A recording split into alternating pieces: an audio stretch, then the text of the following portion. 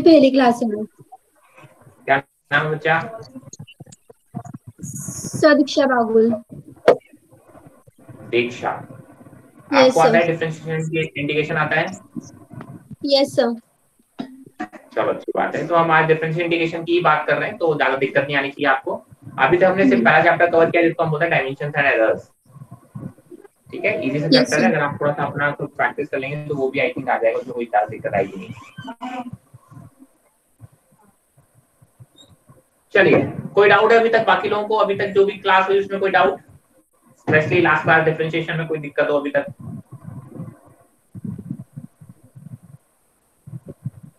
No, sir. No, sir.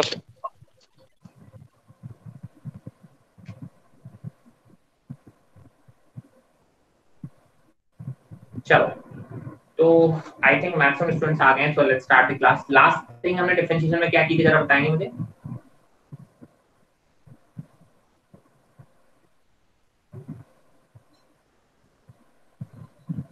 Sir function कर रहा था ना y का डिवाइस डिवाइड करके। Function of x divided by function of x सही डिवीज़न करा था सर यू वाई वी का डेरिवेटिव देखा था।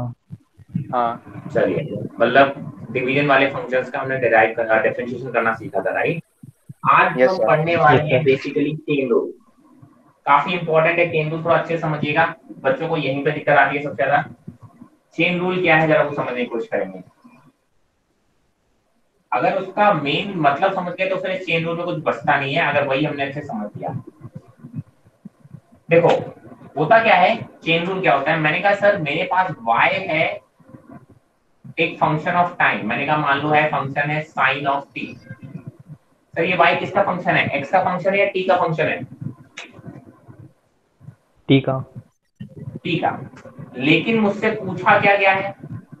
dy बाय dx पूछा गया है। मुझसे डिफरेंशिएशन पूछा गया है x के रिस्पेक्ट में।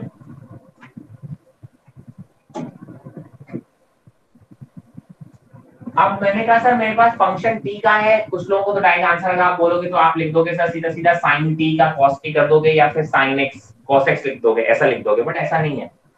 सर, ये t वेरिएबल है, जबकि आपको पूछा x के टर्म में है तो आप ध्यान रखेंगे। ऐसे टर्म में हम क्या करते हैं, ऐसे टाइम पे अगर मेरे को ये डायरेक्ट x नहीं दिया है, x का भी फ़ंक्शन हो सकता है, या किसी और चीज़ का फ़ंक्शन हो सकता है राइट अगर मैं यहाँ पे एक्स स्क्वायर कर दूँ फॉर एग्जांपल मैं टी की जगह पे क्या कर दूँ एक्स स्क्वायर कर दूँ। सर साइन ऑफ़ एक्स का मुझे मालूम है कॉस ऑफ़ एक्स होता है but sine of x square का कॉस ऑफ़ एक्स स्क्वायर नहीं होता, ठीक है? साइन एक्स है तो ही आप बोलोगे कि वो कॉस एक्स होगा। लेकिन साइन एक्स स्क्वायर है तो उसका कॉस एक्स स्क्वायर हो जाएगा। नहीं, ऐसा नहीं होगा, ध्यान रखना। साइन ऑफ़ एक्स का ही cos x होता है। मैंने कहा, सर, यहाँ पे x का एक फ़ंक्शन है x नहीं है। x का कोई फ़ंक्शन है, वो एक्स स्क्वायर भी हो सकता है, वो e की पावर x भी हो सकता है, वो log x भी हो सकता है, वो x क्यूब भी हो सकता है, कुछ भी हो सकता है बट वो फ़ंक्शन हो सकता है टी भी हो सकता है, कोई और वेरिएबल भी हो सकता है। तो आप क्या करोगे ऐसे टाइम पे? आप क्या बोलोगे? पहले जिस चीज़ का फ़ंक्शन है, जिस भी चीज़ का फ़ंक्शन है आप उसके रिस्पेक्ट में क्या करोगे, उसको डिफरेंशिएट कर दोगे? मैंने कहा फॉर एग्जांपल मैंने मान लिया कि सर, थोड़ी देर के लिए t की वैल्यू मान ली एक्स स्क्वायर मतलब एक्स स्क्वायर को मैंने क्या बोल दिया? t बोल दिया। तो आप क्या बोलोगे? साइन एक्स स्क्वायर को आप क्या लिख सकते हो? साइन t बोल सकते हो। ठीक है? जरा देखो, मैंने कहा, सर, इसको मैं dy बाई डी को ऐसा लिख सकता हूँ, dy by d x into d t upon d t ऐसा लिख सकता हूँ, dt से मल्टीप्लाई कर दिया, dt से डिवाइड कर दिया। अब अरेंज करोगे तो आप क्या लिखोगे sir? dy by d t into d x d t by d x ऐसा लिख सकता हूँ मतलब कहने का मतलब क्या है? कि सर, अगर मुझे d y by d x निकालना है तो क्या करो? पहले y को t के रिस्पेक्ट में डिफरेंशिएट कर दो। t क्या है? ये नया फ़ंक्शन है। जो फ़ंक्शन आपने माना है ना, उसी फ़ंक्शन के रिस्पेक्ट में डिफरेंशिएट कर दो। और फिर जो फ़ंक्शन आपने t t को किसके रिस्पेक्ट में डिफरेंशिएट कर दो? x के रिस्पेक्ट में। फिर देखना। मैं कहा, सर, इस फ़ंक्शन को मैंने टी बोल दिया है। तो आप बोलोगे, अब ये फ़ंक्शन कैसा हो गया? साइन टी हाँ साइन टी का डिफरेंशिएशन टी के रिस्पेक्ट में cos टी होगा, बिल्कुल आसान है। जैसे साइन एक्स का डिफरेंशिएशन एक्स के रिस्पेक्ट में cos एक्स होता है, ऐसे साइन टी का डिफरेंशिएशन टी के रिस्पेक्ट में कितना हो जाएगा? cos टी तो आप क्या बोलोगे, सर, पहले y को t के रिस्पेक्ट में डिफरेंशिएट कर दो। फिर t टी को आप डिफरेंशिएट कर सकते हो। टी किसका फ़ंक्शन है? एक्स स्क्वायर का। और टी का डिफरेंशिएशन एक्स के रिस्पेक्ट में मैं कर सकता हूँ। आप बोलोगे, सर, उसको डिफरेंशिएट करो और आंसर लिख दो दैट इज़ चेन रूल एक किसी फ़ंक्शन का आपको फ़ंक्शन आ जाए। चेन रूल का लगता है? साइन आपका डायरेक्ट एक्स का फ़ंक्शन नहीं है। साइन आपके एक फ़ंक्शन का फ़ंक्शन है। ठीक है? एक्स के फ़ंक्शन का फ़ंक्शन है। मैंने कहा, देखा, देखो, इसको क्या करोगे? मैंने कहा एक्स स्क्वायर को आपने क्या माना है? टी तो आपका ये रिलेशन हो गया साइन टी साइन टी का क्या करना है? देखो हमेशा ध्यान रखना फॉर्मूला अगर आप लिखोगे बार बार तो गलतियाँ भी नहीं होंगी और फॉर्मूले याद भी रहेंगे। दो चीज़ों का फ़ायदा होता है। मैं बार बार फॉर्मुला लिखने की आदत क्यों बोल रहा हूँ? क्योंकि सर फॉर्मुले जितने बार लिखोगे उतनी गलतियाँ आपकी कम हो जाएँगी। मैंने कहा, पहले करना है वाई को टी के रिस्पेक्ट में डिफरेंशिएट करना है। मैंने कहा, सर, ये वाई है साइन टी तो साइन टी का डिफरेंशिएशन क्या हो जाएगा? Cos t into d t by d x अब टी का डिफरेंशिएशन एक्स के रिस्पेक्ट में करना है। टी क्या था? टी क्या था? एक्स स्क्वायर अब एक्स स्क्वायर का डिफरेंशिएशन क्या होगा? एनीवन 2x 2x 2x आप मल्टीप्लाई कर दोगे 2x से तो जो इसका आंसर आ गया dy by dx था तो वो आया dy by dx is equal to 2x into cos अब t की वापस से वैल्यू रख दो। t क्या है यहाँ पे? x स्क्वायर तो ये होगा इसका आंसर sin x स्क्वायर का डिफरेंशिएशन x के रिस्पेक्ट में that is equal to 2x into cos x square कहने का मतलब क्या है? ये जो अंदर वाला फ़ंक्शन है पहले उसको एक नया वेरिएबल मानो। फिर आप बोलोगे उसी वेरिएबल के रिस्पेक्ट में पहले y को डिफरेंशिएट कर दो इनटू उस वेरिएबल का x के रिस्पेक्ट में डिफरेंशिएशन कर दोगे तो आपका आंसर आ जाएगा। This is called chain rule called chain rule मतलब चेन है। एक चेन बना रहे हैं, ऐसे कई लंबी तक चली जा सकती है। अगर मैंने कहा दो तीन फ़ंक्शन का कॉम्प्लिकेटेड सा दे रहे हैं बट आपके में इससे ज़्यादा कॉम्प्लिकेटेड नहीं आता। मैंने कहा देखो, फिर से एक और एग्जांपल इसको हम रूल भी बना लेंगे। मैंने कहा, y इज़ इक्वल टू दे रखा है। Ax प्लस बी का whole cube y is equal to क्या दे रखा है? Ax प्लस बी का होल क्यूब सर अगर x का क्यूब होता तो मुझे मालूम है कि सर x क्यूब का डिफरेंशिएशन करना मुझे आता है. बट मुझसे पूछा गया है ए एक्स प्लस बी का होल क्यूब जहाँ पे a और b क्या है? कांस्टेंट है. मैंने कहा सर dy बाय dx निकालना. आप क्या करोगे सर t मान लोगे किसको? Ax प्लस बी को. अगर मैं ax प्लस बी को इस फ़ंक्शन को टी मान लू तो आप बोलोगे, सर, ये क्या हो जाएगा? इसको आप t क्यूब लिख पाओगे। अब आपने कहा, सर t आपने वेरिएबल माना है तो आपको देखो रूल लिखने का तरीका क्या है? पहले y को इस वेरिएबल के रिस्पेक्ट में डिफरेंशिएट कर दो मतलब dy बाय dt इनटू इसको x के रिस्पेक्ट में डिफरेंशिएट कर दो मतलब कितना हो गया? dt by dx. Value put कर दो। dy बाय dt कितना आएगा? t क्यूब का डिफरेंशिएशन क्या होगा? t के रिस्पेक्ट में आप बोलोगे 3t square into dt by dx मतलब इसका डिफरेंशिएशन कितना आएगा? a मैंने कहा वैल्यू पुट करोगे तो कितने आएगा? देखो a को उधर लेके आओ तो 3a into t square t square की वैल्यू मतलब कितना हो गया? ax प्लस b का होल सो ये आ गया आपका dy बाय dx ठीक है? इसको हम डायरेक्टली भी अगर हम थोड़ा शॉर्ट ट्रिक की तरह याद करें तो कैसे करते हैं? मैंने कहा देखो ax प्लस बी का होल क्यूब होता।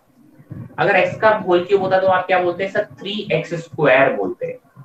लेकिन ये इस फॉर्मेट में a x plus b x plus b का मतलब क्या हो सकता है? टू एक्स प्लस थ्री भी हो सकता है। फोर एक्स प्लस फाइव भी हो सकता है। टू एक्स माइनस वन भी हो सकता है। इस फॉर्मेट में है तो आप क्या करोगे? सर, इसको थोड़ी देर के लिए आँख बंद करो और समझो इसको एक्स क्यूब लिखा है। तो एक्स क्यूब का आप डिफरेंशिएशन लेते हो क्या लिखते थ्री इंटू एक्स स्क्वायर तो मैं क्या लिखूँगा? थ्री इंटू एक्स स्क्वायर जो आपने आँखों बंद करके एक्स माना था वो क्या था? एक्स प्लस बी था। तो थ्री इंटू एक्स का स्क्वायर ठीक है? अब एक्स का जो भी कोफिशियंट है, उससे और मल्टीप्लाई कर दो इसको। तो यहाँ पे एक्स का कोफिशियंट क्या है? ए है। तो मैंने इससे किससे मल्टीप्लाई कर दिया? ए से मल्टीप्लाई कर दिया। वैसे सुनना। मैंने कहा, सर, अगर एक्स क्यूब होता तो मैं क्या करता? ये सिर्फ़ और a x plus b type के फ़ंक्शंस में ही वैलिड होगा। अगर एक्स प्लस बी होता सॉरी एक्स क्यूब होता तो आप लिखते थ्री एक्स स्क्वायर मैंने कहा एक्स प्लस बी है। तो आप लिखोगे three into x plus b का होल स्क्वायर साथ ही साथ आपको क्या करोगे? एक्स का जो कोफिशिएंट है, उससे मल्टीप्लाई और कर दोगे। मैंने वो भी मल्टीप्लाई कर दिया तो आंसर आ गया ये। मैंने कहा, अगर ये चीज़ आपको समझ में आ गई तो एक और एग्जांपल दे रहा हूँ, उसे समझने की कोशिश करना। Y is equal to sin of 3x कोई बताएगा इसका आंसर क्या होगा? Y is equal to sin of 3x क्या होगा answer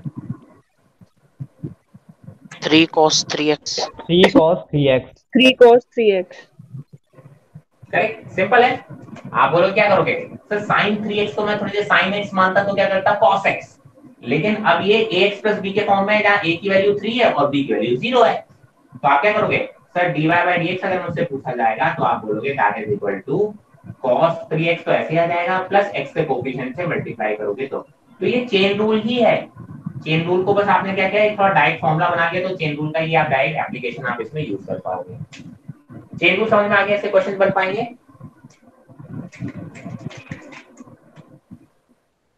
सर दो Yes, आपको समझ में आ गई तो फिर क्वेश्चन बनेंगे बनेंगे। बहुत सिंपल है। ठीक है? चलो इसका स्क्रीनशॉट ले लो फिर अपन आगे बढ़े।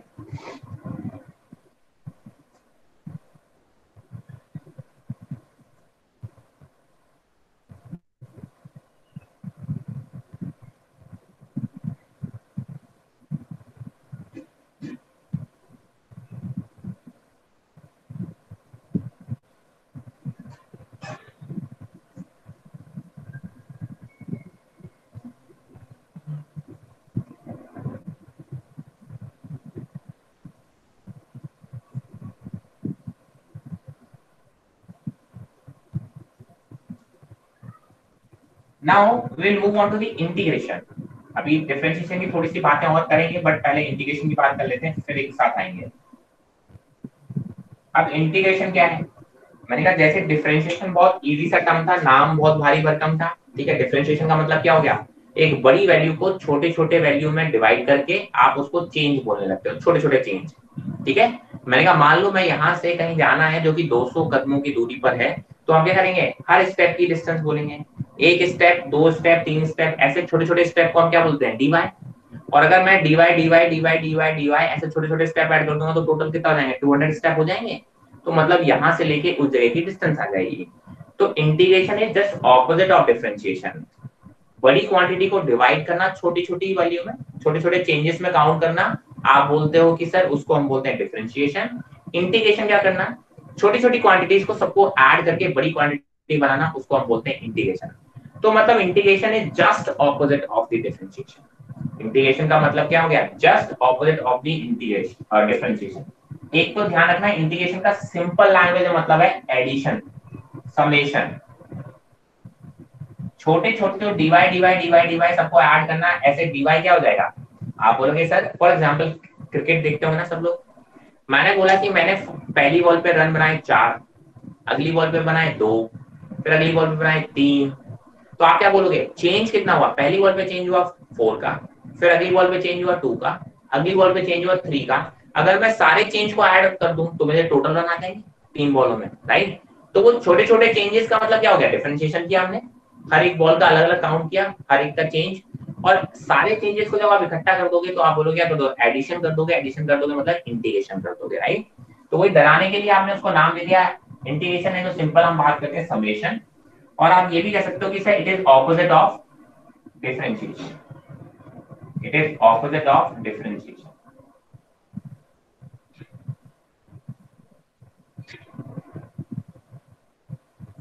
अब जरा देखो कैसे ऑपोजिट है। फॉर्मूले आपको पता है कैसे। मैंने कहा, सर, देखो अगर एक्स क्यूब होता, इसका डिफरेंशिएशन कैसे करते हैं आप, बताना?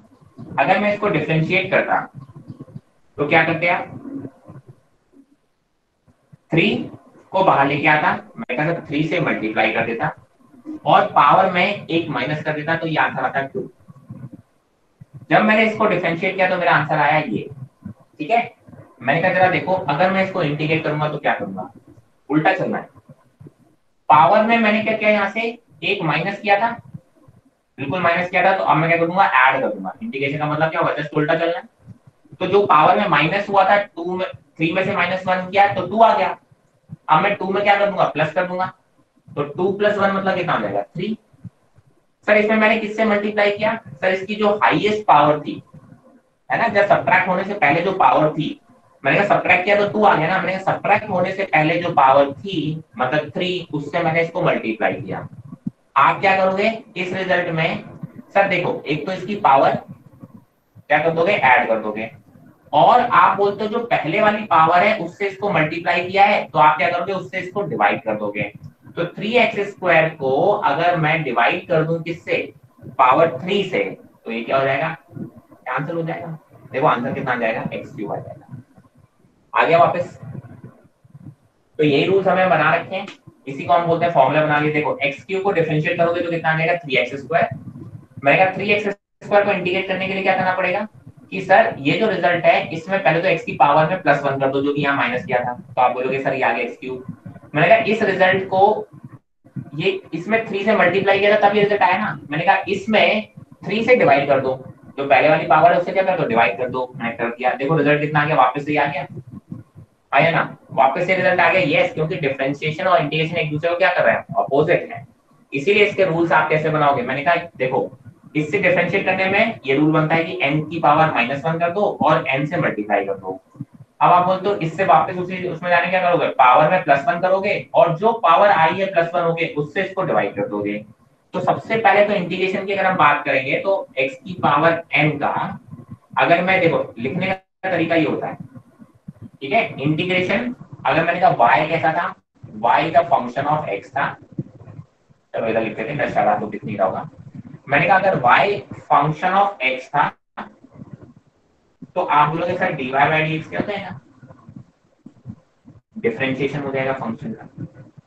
मैंने कहा इस dx को इधर लेके जाओगे तो आप बोलोगे सर dy कितना हो जाएगा, सर? f डैश x का इनटू dx अब ऐसे ही सारे dy dy dy को सबको ऐड करोगे तो उसको क्या करोगे? इंटीग्रेशन ऑफ़ dy लिखोगे। क्या करोगे? Integration of dy will be equal to integration of f dash x dx तो ये साइन होता है इंटीग्रेशन का।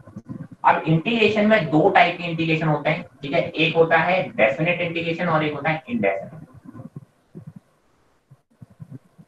इनडेफिनेट इंटीग्रेशन होता है और एक होता है डेफिनेट इंटीग्रेशन दोनों में डिफरेंस क्या होता है? जरा देखो मैंने कहा, सर, अगर मान लो इसी रिज़ल्ट को मैं आप प्लस वन बोल देता एक्स क्यूब प्लस वन तो उसका आंसर आता है थ्री एक्स स्क्वायर अब जरा समझना। जब यहाँ पे एक्स क्यूब प्लस ज़ीरो था तो आंसर आया थ्री एक्स स्क्वायर और उसका आपने बोला इंटीग्रेशन आया ये। अगर एक्स क्यूब में यहाँ पे प्लस टू भी लिखा होता तो भी डिफ्रेंशिएशन कितना आया? थ्री एक्स स्क्वायर ही आएगा। ठीक है? अब आप वापस जाओगे तो आपको पता नहीं ना ये टू बिकॉज़ आपको ये तो पता है पावर आप ऐड कर सकते हो मल्टीप्लाई डिवाइड कर सकते हो बट ये प्लस कॉन्स्टेंट क्योंकि ये जब डिफरेंशिएट होके आ रहा है, तब थ्री एक्स स्क्वायर दे रहा है। चाहे वो एक्स क्यूब का डिफरेंशिएशन होके आए तो भी थ्री एक्स स्क्वायर देंगे। एक्स क्यूब प्लस टू का डिफरेंशिएशन आएगा तो भी कुछ थ्री एक्स स्क्वायर आएगा। एक्स क्यूब माइनस वन का अगर डिफरेंशिएशन करोगे तो भी थ्री एक्स स्क्वायर आएगा। तो इस थ्री एक्स स्क्वायर को देख के जब आप इंटीग्रेट करोगे तो आपको ये प्लस माइनस जो भी यहाँ पे कांस्टेंट है, उसके बारे में आप कुछ भी नहीं बता पाओगे। उस कांस्टेंट की बात ही नहीं कर पाओगे क्योंकि आपको पता ही नहीं ना ये थ्री एक्स स्क्वायर किसकी वजह से आया है। एक्स क्यूब की वजह से आया, ये तो श्योर है बट एक्स क्यूब के साथ एक कांस्टेंट भी लगा हो सकता है। ज़रूरी नहीं कि हो गई, लेकिन हो तो सकता है। एक्स क्यूब प्लस वन का करो एक्स क्यूब माइनस टू का करो एक्स क्यूब प्लस थ्री का करो x cube plus three by two का करोगे। सबका डिफरेंशिएशन तो यही आने वाला है। तो डिफरेंशिएशन को देखे जब आप इंटीग्रेशन करोगे तो एक्स क्यूब तक तो पहुँच जाओगे। ये जो प्लस माइनस कांस्टेंट है, इसके बारे में आप कुछ बता नहीं पाओगे। इसलिए आप बोलते हो जो आपका इंटीग्रेशन है, वो थोड़ा सा इनडेफिनेट सा है। श्योर नहीं है, क्योंकि वहाँ पे एक कांस्टेंट मिस होने के चांसेस रहते हैं। क्या होता है? सर, एक कांस्टेंट मिस होने के चांसेस रहते हैं। इसीलिए जब भी आप रिज़ल्ट लिखोगे, मैंने कहा, सर, देखो, अगर मुझे इसका इंटीग्रेशन करना है एक्स की पावर n का इंटीग्रेशन करना है एक्स के रिस्पेक्ट में तो आप क्या लिखोगे, सर? पावर में क्या करते हो? प्लस वन करते हो मतलब x की power n plus one upon क्या करते हो? जो पावर प्लस होके आई उससे आप उसको डिवाइड करते हो। ये तो हमने सीखा यहाँ से। ठीक है? और प्लस एक कांस्टेंट लगा देते हो। प्लस सी और लिख देते हो। इसका मतलब क्या है? कि सर यहाँ पे हो सकता है एक्स क्यू प्लस वन हो सकता है एक्स क्यूब माइनस टू हो सकता है एक्स क्यू प्लस थ्री हो सकता है। उस कांस्टेंट के बारे में आप कुछ बता नहीं पा रहे हो, बोल नहीं पा रहे हो। ठीक है? इसीलिए हम बोलते हैं ये इंडेफिनेट है, क्योंकि यहाँ पे एक कांस्टेंट भी लगा होगा। क्या ये समझ में इंडेफिनेट इंटीग्रेशन को? इंडेफिनेट क्यों बोल रहे हैं? अरे बोला कीजिए यार नहीं भी समझ आएगा तो बोलो बट बोलो ज़रूर। ये सर आ sir. गया। सर लोग हाँ सब लोग बताया करें भाई। चलो इसमें बस पहला रूल जो हमने पढ़ा इस रूल में ध्यान रखें n की वैल्यू माइनस वन नहीं हो इसमें n की वैल्यू माइनस वन नहीं हो बिकॉज़ n की वैल्यू जब माइनस वन होती है, और आपने यहाँ पे उस माइनस वन में प्लस वन किया, n प्लस वन करोगे तो minus one plus one will become zero और जब नीचे डिनोमिनेटर में ज़ीरो आ जाता है तो क्वांटिटी अनडिफाइंड हो जाती है, ठीक है? तो हम यहाँ पे n की वैल्यू को माइनस वन नहीं रख सकते, इस चीज़ को ध्यान रखेंगे। मैंने कहा, जब n की वैल्यू माइनस वन आएगी तो उसको हम सॉल्व करेंगे, कैसे कर सकते हैं? मैंने कहा, सर सेकंड केस की बात कर लो? और फॉर्मूला मैंने कहा, अगर यहाँ पे कोई कांस्टेंट है क्या है? एक कांस्टेंट है। इनटू dx कांस्टेंट को आप कैसे लिख सकते हो? सर कांस्टेंट को आप लिख सकते हो। Integration of constant into x की पावर ज़ीरो ऐसा लिख सकते हो ना यार? अभी कांस्टेंट वन भी हो सकता है टू भी हो सकता है वन बाई टू भी हो सकता है। तो कांस्टेंट को आप क्या लिख सकते हो? इंटू एक्स की पावर ज़ीरो और एक्स की पावर ज़ीरो पे फिर एक्स की पावर एन वाला फॉर्मूला लगा दोगे। तो that will become x plus ठीक है? तो अगर यहाँ पे केवल ऐसे लिखा होता केवल dx मतलब वो कांस्टेंट यहाँ पे कितना है? वन तो dx का इंटीग्रेशन कितना आ जाएगा सिंपल x प्लस ठीक है? मैंने कहा और देखो। मैंने कहा अगर m की वैल्यू यहाँ माइनस वन होती तो आप क्या लिखते? सर, आप बोलते, सर, अगर मैं x की पावर माइनस वन होता x की power minus one d x ऐसे लिखा होता। मैंने कहा ये वाला फॉर्मूला तो मैं लगा नहीं सकता because this formula is not valid for this इसका मतलब क्या हो गया? Integration of one by x d x पूछ रहा है। अच्छा ये बताओ किसको डिफरेंशिएट करते थे? तो वन बाई एक्स आ जाता था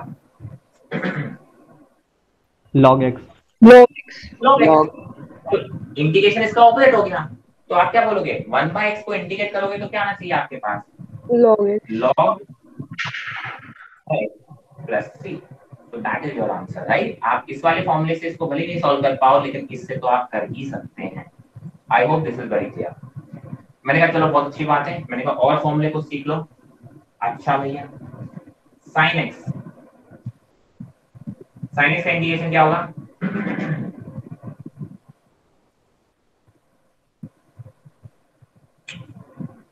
अरे, बोलो भाई।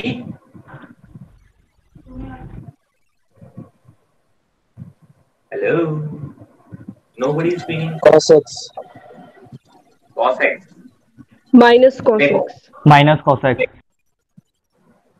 sin x किसका डिफरेंशिएशन होता था? आप बोलते थे सर कॉस एक्स का डिफरेंशिएशन माइनस साइन एक्स होता था. कॉस एक्स का डिफरेंशिएशन क्या होता था? माइनस साइन एक्स होता था। तो मैंने कहा माइनस साइन एक्स का डिफरेंशिएशन क्या होगा? Cos x minus sin x का डिफरेंशिएशन अगर cos x होगा तो इस माइनस को उठा के इधर लेके जाओगे तो आप क्या बोलोगे? कि केवल और केवल अगर आप sin x का डिफरेंशिएशन निकालने जाओगे तो क्या आएगा? माइनस ऑफ़ कॉस x आएगा। ठीक है? ये तो समझाने के लिए बोल रहा हूँ। तो आप वैसे याद रखेंगे तो बहुत अच्छी बात है कि sin x का जो इंटीग्रेशन आता है that is equal to minus cos x plus c similarly आप बोलते हो cos x अब देखो cos x किसका डिफरेंशिएशन आ रहा था? sin x का। तो x का इंटीग्रेशन क्या हो जाएगा? Sin x sin आज सिंपल है। ठीक है? इंटीग्रेशन ऑफ़ ई की पावर एक्स e की पावर x का इंटीग्रेशन कितना होगा? सर e की पावर x का इंटीग्रेशन मैं कहा e की पावर x किसका डिफरेंशिएशन होता था? सर e की पावर x का ही होता था। तो आपने बोला सर इसका मतलब उल्टा भी क्या होगा? E की पावर x ही होगा। तो ये कुछ फॉर्मूले अगर आपने याद कर लिए ठीक है? मैक्सिमम टाइम 95% टाइम यही फॉर्मूले यूज़ होते हैं, इससे बाहर फॉर्मूले यूज़ होते नहीं है। मैक्सिमम टाइम मैं बोल रहा हूँ 95% तो ज़्यादा परेशान होने की ज़रूरत है नहीं, आप लोग जो डिफरेंशिएशन इंटीग्रेशन को हवा बना करते हो सर बहुत टफ है, बहुत टफ है। अरे, बहुत इजी होता है यार। यूज़ करो, मैं तो कहता हूँ मैक्सिमम टाइम जो न्यूमेरिकल प्रॉब्लम नीट ने पूछे डायरेक्ट इंटीग्रेशन और डिफरेंशिएशन रेट वो इसी फॉर्मूले पर अटक जाएँगे। इससे आगे नहीं बढ़ पाते और बच्चे इसमें भी जाके गलती करते हैं। ठीक है? स्क्रीनशॉट लो। आगे बढ़ो कोई डाउट है तो पूछ लो। Excuse me sir. हाँ जी बेटा बोलो। सर एग्ज़ाम में डिफरेंशिएशन और इंटीग्रेशन के क्वेश्चंस आते हैं। इंटीग्रेशन और डिफरेंशिएशन के डायरेक्ट ऐसे नहीं बोलेंगे कि इसको इंटीग्रेट करो। वो। ऐसे पूछेंगे कि सर अगर पोजीशन ये दे रखा है तो बताओ वेलोसिटी कितनी होगी। तो वेलोसिटी क्या होता है? अच्छा, dx by इनकी एप्लीकेशंस आती है मतलब। Correct okay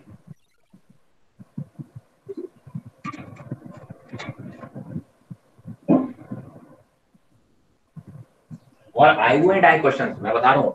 every year almost एक क्वेश्चन आ जाता है। अगर आप नीट प्रीवियस क्वेश्चन उठा देखोगे मोशन स्ट्रेट लाइन या मोशन 2D में, आपको कहीं ना कहीं क्वेश्चन मिल जाते हैं, जो डायरेक्ट बेस्ड होते हैं इंटीग्रेशन और डिफरेंशिएशन पे। तो इसलिए तो इंपॉर्टेंट है ही, बाकी ये यूज़ बहुत होते हैं। हर क्वेश्चन में आप बोलते फोर्टी फाइव क्वेश्चन आते हैं तो ऐसा तो होता ही नहीं कि इनको यूज़ किए बिना कोई भी एक क्वेश्चन ना कहीं ना कहीं आपका अटकेगा ज़रूर, जिसमें डिफरेंशियल इंटीग्रेशन एट मिनिमम लग रहा होगा। ठीक है? तो पूरी फिजिक्स में हर चैप्टर में इनका यूज़ कहीं ना कहीं होता ही रहता है। डेरिवेशन जब करते हो तब तो बहुत ही ज़्यादा यूज़ होता है। है ना? खैर, अब तो आपको डेरिवेशन की ज़रूरत है नहीं। हम उम्मीद करते हैं कि सब लोग बारहवीं पास है और जो पास नहीं है वो भी पास हो जाएँगे। एक आध पेपर जिनका रह गया होगा। ठीक है? चलो। ऐसा तो कोई नहीं जो बारहवीं पास नहीं हो और बैठा हो क्रैश कोर्स कर रहा हो। जिसको लगता नहीं, सर, मैं तो फेल हो गया हूँ फेल हो जाऊँगा। ठीक है तो क्रैश कोर्स कर रहा हूँ। ऐसे भी कई बार छुपे रुस्तम मिल जाते हैं। कभी कभी शॉक शॉक में कोई इलेवेंथ वाला क्रैश कोर्स में ले लेता है सर क्रैश कोर्स है सर पैसे की कमी नहीं है, छोटा सा, कम फ़ीस में वो करा रहे हैं, चलो एक बार क्रैश कोर्स करके देखें, करते कैसे है ना? तो कुछ लोग ऐसे शौक या भी आ जाते हैं। चलो क्या? मैंने कहा, सर, ये तो बात हो गई कुछ फॉर्मूले की। तो मैंने कहा, चलो, अगर आपका फ़ंक्शन जो है f one x plus f two x अगर आप बोलते हो y आपका क्या है? दो फ़ंक्शन का समेशन है। अब आपको इसका इंटीग्रेशन करना है, ठीक है? तो कैसे करोगे? तो मैंने कहा, देखो सिंपल सी बात है। ऐसे केस में अगर मुझे इंटीग्रेशन करना है तो क्या करूँगा? सर इंटीग्रेशन करूँगा एफ़ वन एक्स का प्लस इंटीग्रेशन कर दूँगा एफ़ टू एक्स का और सिंपल प्लस माइनस जो भी होगा। अगर यहाँ पे प्लस हो रहा होगा तो प्लस कर दूँगा माइनस हो रहा होगा तो यहाँ पे मैं माइनस कर दूँगा सिंपल मतलब अगर एक से ज़्यादा फ़ंक्शन आ रहे हो एडिशन या सब्ट्रैक्शन तो इंटीग्रेशन सॉल्व करना क्या है? एक का करो प्लस माइनस दूसरे का। जो भी आपका प्लस हो रहा है तो प्लस कर दो माइनस हो रहा है, मैंने मैंने कहा मुझे इंटीग्रेट करना था x square plus sine x इसको इंटीग्रेट करना है। आप जरा देखो, ये एक अलग फ़ंक्शन है, ये एक अलग फ़ंक्शन है। और दोनों क्या हो रहे हैं? आपस में ऐड हो रहे हैं। तो आपस में ऐड हो गए तो इसका इंटीग्रेशन क्या आएगा? आप बोलोगे एक्स स्क्वायर का इंटीग्रेशन आएगा x cube by three power में plus one divide by power plus one sine x का कितना हो जाएगा? Minus of cos x plus c तो this is your answer as simple as that right इसका मैंने इंटीग्रेशन किया, इसका इंटीग्रेशन किया और क्या कर दिया? मैंने सिंपली दोनों को ऐड कर दिया, ठीक है?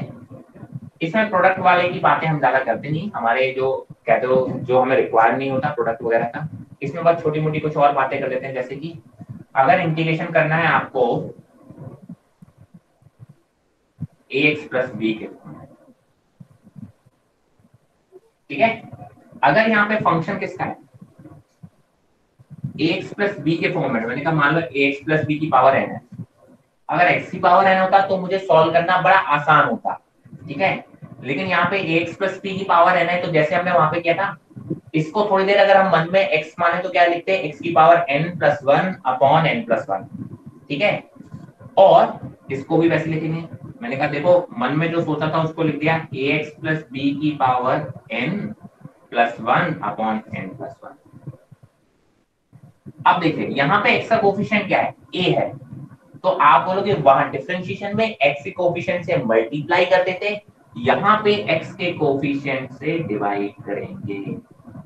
तो दैट इज़ योर आंसर और ये और फ़ंक्शंस पे भी काम करता है। यहाँ पे फ़ंक्शन कोई सा भी आ जाए मैंने कहा फॉर एग्जांपल एक और एग्जांपल ले लेते हैं। मैंने कहा, मान लो इंटीग्रेशन करना है मुझे sine of three x plus two का। अब साइन एक्स का अगर मैं इंटीग्रेशन करता तो लिखता माइनस ऑफ़ कॉस एक्स बस ये थ्री एक्स प्लस टू है मतलब इस फॉर्मेट में आ गया। मैं क्या करूँगा? सर साइन एक्स का इंटीग्रेशन होता है कॉस एक्स माइनस का तो माइनस कॉस ऑफ़ इसको थोड़ी देर बाद आपने मन में एक्स सोचा था तो यार लिख दोगे वापस थ्री एक्स प्लस टू और जो एक्स का कोफिशिएंट है, उससे क्या कर दोगे? डिवाइड कर दोगे. तो दैट इज़ योर आंसर तो ये कुछ तरीके होते हैं इंटीग्रेशन वगैरह करने के यार इतना सब अगर आपको इंटीग्रेशन आता है तो मेरे हिसाब से इंटीग्रेशन आपसे बन जाएगा. तो ये तो बात है कि हमने इनडेफिनेट इंटीग्रेशन की. अब बात करते हैं डेफिनेट इंटीग्रेशन की। सर सर सर सर एक बार वापस बताना आपकी वो आवाज़ क्या बताना है? कौन सा वाला बताना है? हाँ यही वाला सर देखो ये ax प्लस बी के फॉर्म में है। Sine of ax plus b ठीक है? तो आप क्या करोगे? Sine of ax Yes, plus b को आप क्या लिख दोगे? Cos minus cos of ax plus b लेकिन एक्स का जो कोफिशिएंट है उससे यहाँ पे डिवाइड भी करना पड़ेगा साथ में। ठीक है? जैसे यहाँ पे किया था एक्स प्लस बी की पावर एन को क्या लिख दिया? एक्स प्लस बी की power n plus one upon n plus one लेकिन एक्स का जो भी कोफिशियंट होगा उससे यहाँ पे डिवाइड भी करना पड़ेगा। तो एग्जैक्टली यहाँ पे भी वैसे करना पड़ेगा। डिफरेंशिएशन में एक्स से कोफिशियंट से मल्टीप्लाई कर देते थे। इसका ये उल्टा है तो आप बोलोगे यहाँ पे एक्स से कोफिशियंट से क्या करते हैं? डिवाइड कर देते हैं। क्लियर है? यस सर यस सर चलो। मैंने कहा, सर, क्या बताने वाला था? हाँ बात करने वाले डेफिनेट इंडिकेशन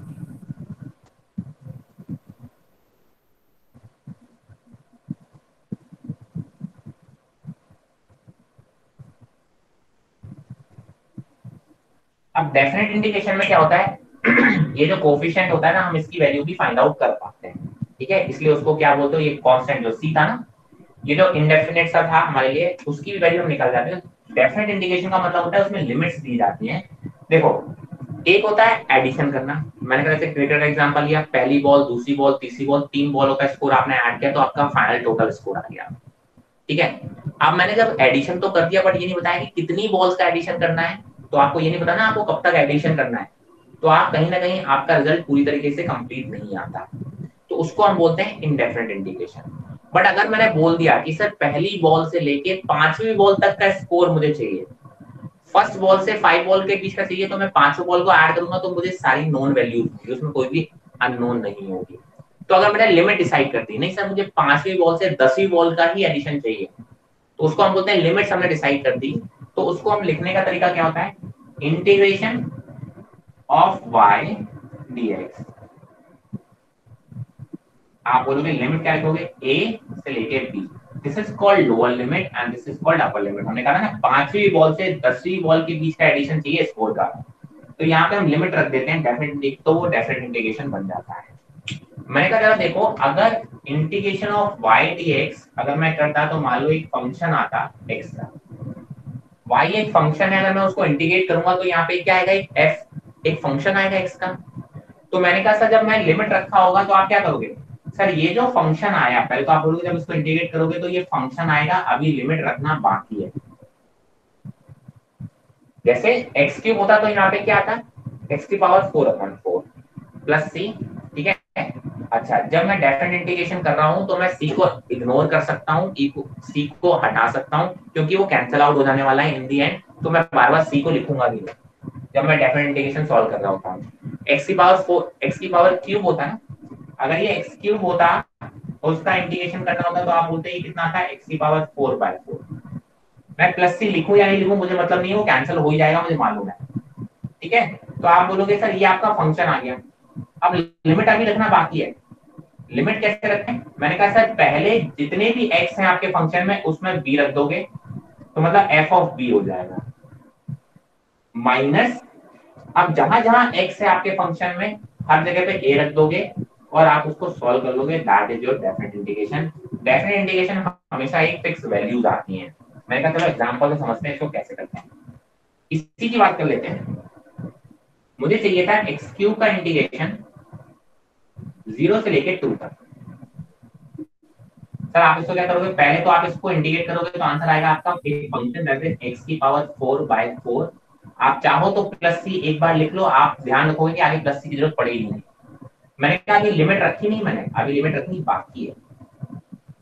अब लिमिट कैसे रखेंगे? मैंने कहा, पहले अपर लिमिट इसको बोलते हैं अपर लिमिट तो जहाँ जहाँ x है उसकी जगह पे 2 रख दो। मैंने कहा, देखो 2 रखेंगे तो ये कितना देगा 2 की पावर 4 प्लस 4 प्लस 6 मैंने कहा, अब ये फॉर्मूले का माइनस मैंने कहा, अब जहाँ जहाँ x है, वहाँ ज़ीरो रख दो। मैंने कहा, सर, ये कितना है ज़ीरो की पावर फोर अपॉन फोर और प्लस 3 ऐसे करोगे? मैंने कहा देखो माइनस से मल्टीप्लाई करोगे तो कितना आएगा टू की power four by four plus c minus ये तो ज़ीरो ही हो गया और ये माइनस सी हो गया। देखो सी से सी कैंसिल हो गया।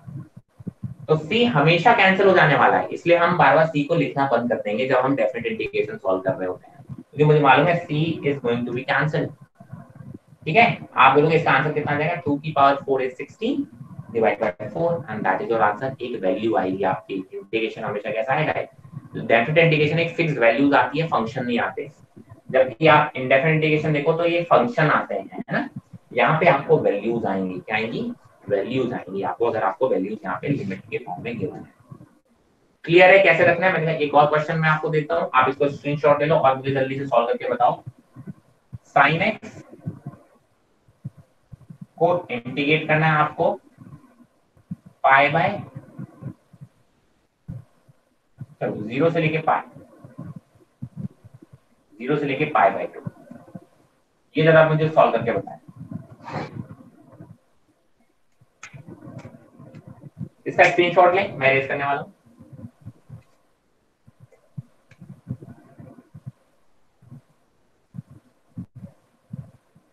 सर वन क्या बेटा? सर वन आया वन आ सकता है मन मैं हाँ, हाँ।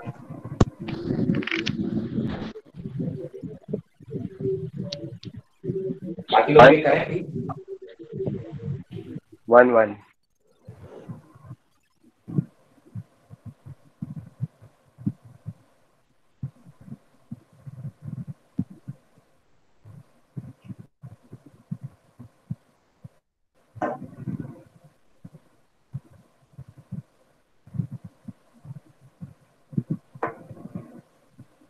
चलो देखते हैं। सबका आना चाहिए यार दो तीन लोग का आंसर है यार। अठारह उन्नीस लोग यहाँ पे कनेक्टेड हैं। सर सबके आंसर चाहिए मुझे। सबकी आवाज़ आनी चाहिए। Sir one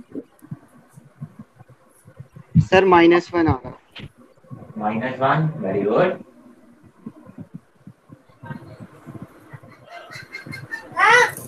बेटा माइनस वन आंसर किसका आया? प्रथम शर्मा। प्रथम शर्मा साइन एक्स का इंटीग्रेशन कितना होता है बेटा?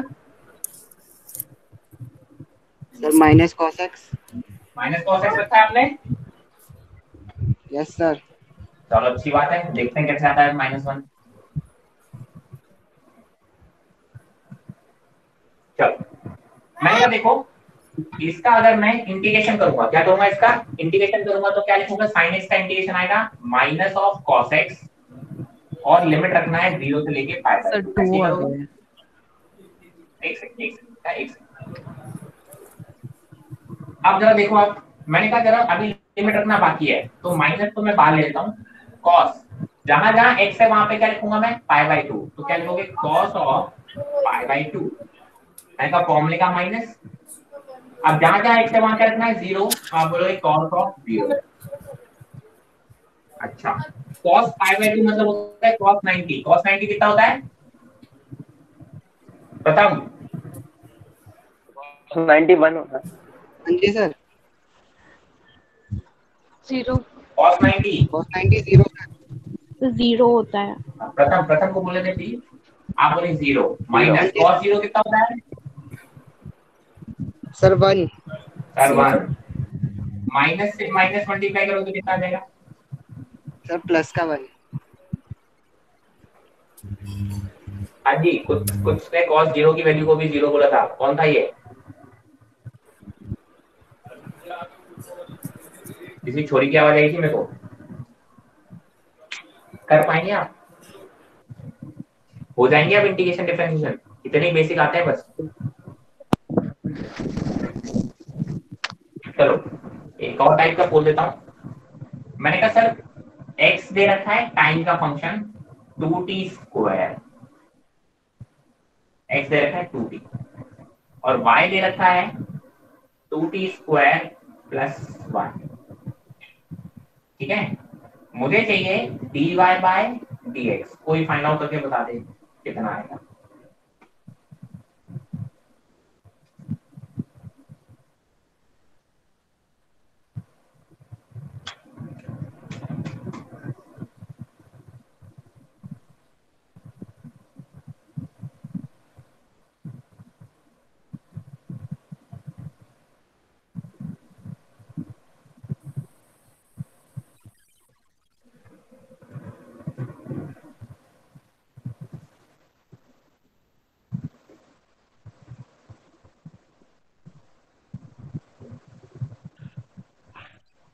टूटी आएगा। क्या हुआ बेटा? टू टी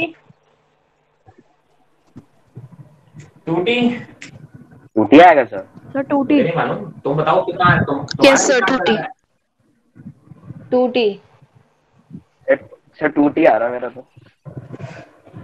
शशांक कैसे सॉल्व करेंगे? चलो शशांक से बात करते हैं। शशांक कैसे सॉल्व करेंगे? नहीं बेटा क्या हुआ? तो पहले y का डिफरेंशिएशन करेंगे x के रिस्पेक्ट पे। एक्स के रिस्पेक्ट में? सर x और y को डिफरेंशिएट करेंगे t के रिस्पेक्ट कनिष्का मुझे मालूम है मैं तुम्हारी पहली आवाज़ से समझ गया कि तुमको डिफरेंशियल इंटीग्रेशन काफ़ी अच्छे से आता है। ठीक है तो मैं उनसे बिल्कुल नहीं पूछता। ठीक है मैं हमेशा उनसे पूछता हूँ जिनमें थोड़ा सा भी मुझे डाउट होता है कि शायद उसको समझ में आया कि नहीं। हाँ बेटा y को x रिस्पेक्ट में डिफरेंशिएट करेंगे?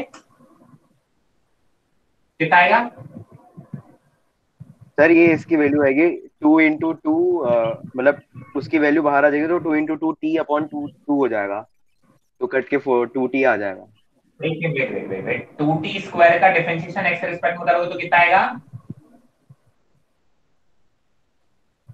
Sir two into two t upon two 2 into 2 4t right मतलब four t upon two upon two हो जाएगा 2 पूरी वैल्यू बता रहा हूँ। अपॉन 2 कैसे हो गया?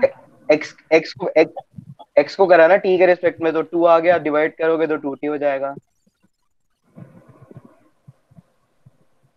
क्या फॉर्मूला लगा रहा है मुझे? ये बताओ समझाने की कोशिश करो मैं समझ sir d y by d t होगा शशांक को बताइए तो बेटा। मुझे भी आता है बेटा। बताया क्या? मुझे समझ में नहीं आ रहा आप बता क्या रहे हो? मैं कैसे बताऊँ? गलत है कि सही? है सर आप बताना क्या चाह रहे हो? पहले solve किया मैं हम तो को डिफरेंशिएट करेंगे। किसके रिस्पेक्ट में? टाइम के क्योंकि फ़ंक्शन टाइम टाइम के रिस्पेक्ट में डिफरेंशिएट करेंगे? हाँ कितना आएगा? तो सर पहले y को करेंगे तो पावर बाहर आ जाएगी तो टू इंटू टू फोर्टी हो जाएगा वो। 40 हो गया अब अब x को करेंगे t के रिस्पेक्ट में तो वो सर उसकी पावर तो वन ही है तो वन से मल्टीप्लाई होकर टू का टू हो जाएगा। तो अपॉन टू हो जाएगा x को करेंगे x को कर लिया मैंने t के रिस्पेक्ट में कितना आया? टू आएगा सर ये। 2 आएगा। हाँ अब क्या करूँ मैं इसका? तो सर वो आपको हमको dy by by d x चाहिए तो फिर उसको जब करोगे तो फोर्टी बाई टू हो जाएगा तो डिवाइड होके सर वो टू टी आएगा। 4t by 2 ये क्यों करेंगे हम ये बताओ मुझे जरा। क्योंकि sir d y d y by d x चाहिए ना। सर वो d y by d t है उधर पहले।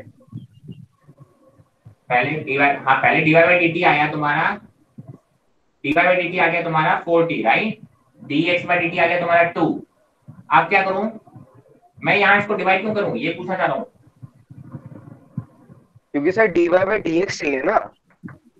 तो इसको डिवाइड में ही लिखना है मल्टीप्लाई में नहीं लिखना है ऐसा क्यों?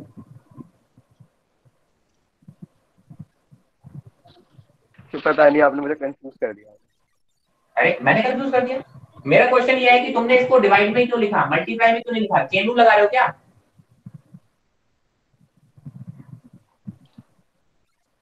मेरे क्वेश्चन का आंसर नहीं लगाना है क्या? हाँ मैं तो पूछ रहा हूँ चेन लगा रहे हो क्या? या आपने डिवाइड ही क्यों किया? कुछ तो रीजन होगा आपने डिवाइड किया। सर मैं बताऊँ क्या? बेटा मुझे मालूम है। मुझे भी मालूम है। हाँ शशांक से पूछ रहा हूँ। पहले आप ये बता दो ऐसा गलत है कि सही है? अरे घर में बात हो गई। मेरे को तो अभी आंसर पता ही नहीं मैंने तो सॉल्व भी नहीं किया। मैं तो तुमसे सीखना चाह रहा हूँ कि तुम कैसे कर रहे हो तो मैं भी तो देखूँ कि कैसे करते हैं।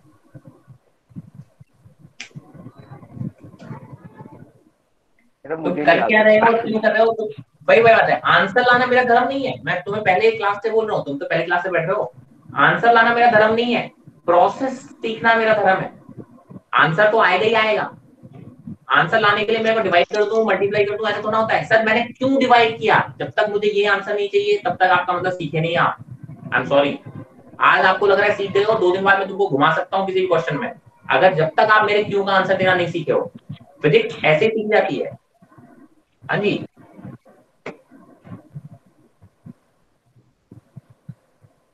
कुछ सोच समझ के मैंने हाँ तो सर जब आप अगर आप उसको इंटू भी करोगे तो आप उसको d y by d t करोगे और उसको इंटू करके d t by d x करोगे तो सर वो d y by d x ही हो जाएगा जो डी टी डी टी आपस में कैंसिल हो जाएँगे तो। मैंने कहा इंटू कर देंगे मैं इंटू लिख देता हूँ टू आंसर आ गया मेरा एट्टी क्या दिक्कत है?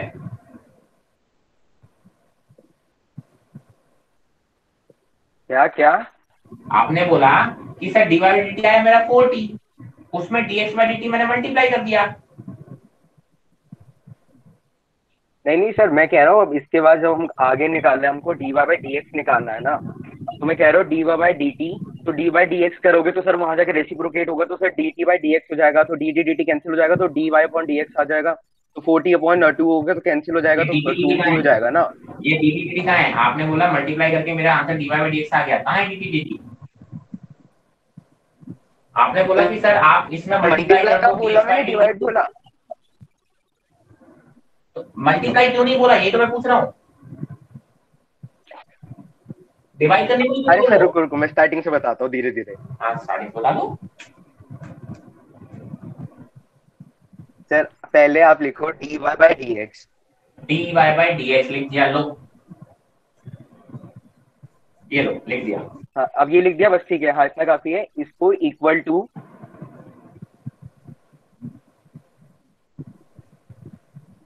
d y by d t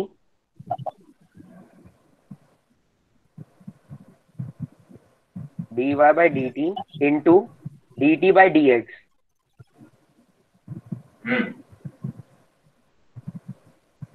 और डीडीटी कैंसिल कर दिया बाय सर अब इसकी वैल्यू आ जाएगी सर फोर्टी किसकी वैल्यू इसकी हाँ मतलब अब जब डी टी डी अगर कैंसिल होगा तो sir d y by d x आ जाएगा। तो कैंसिल कर दिया लो वापस dy बाई एक्स आ गया करूँ क्या मैं इसका? ये तो था ही मेरे पास।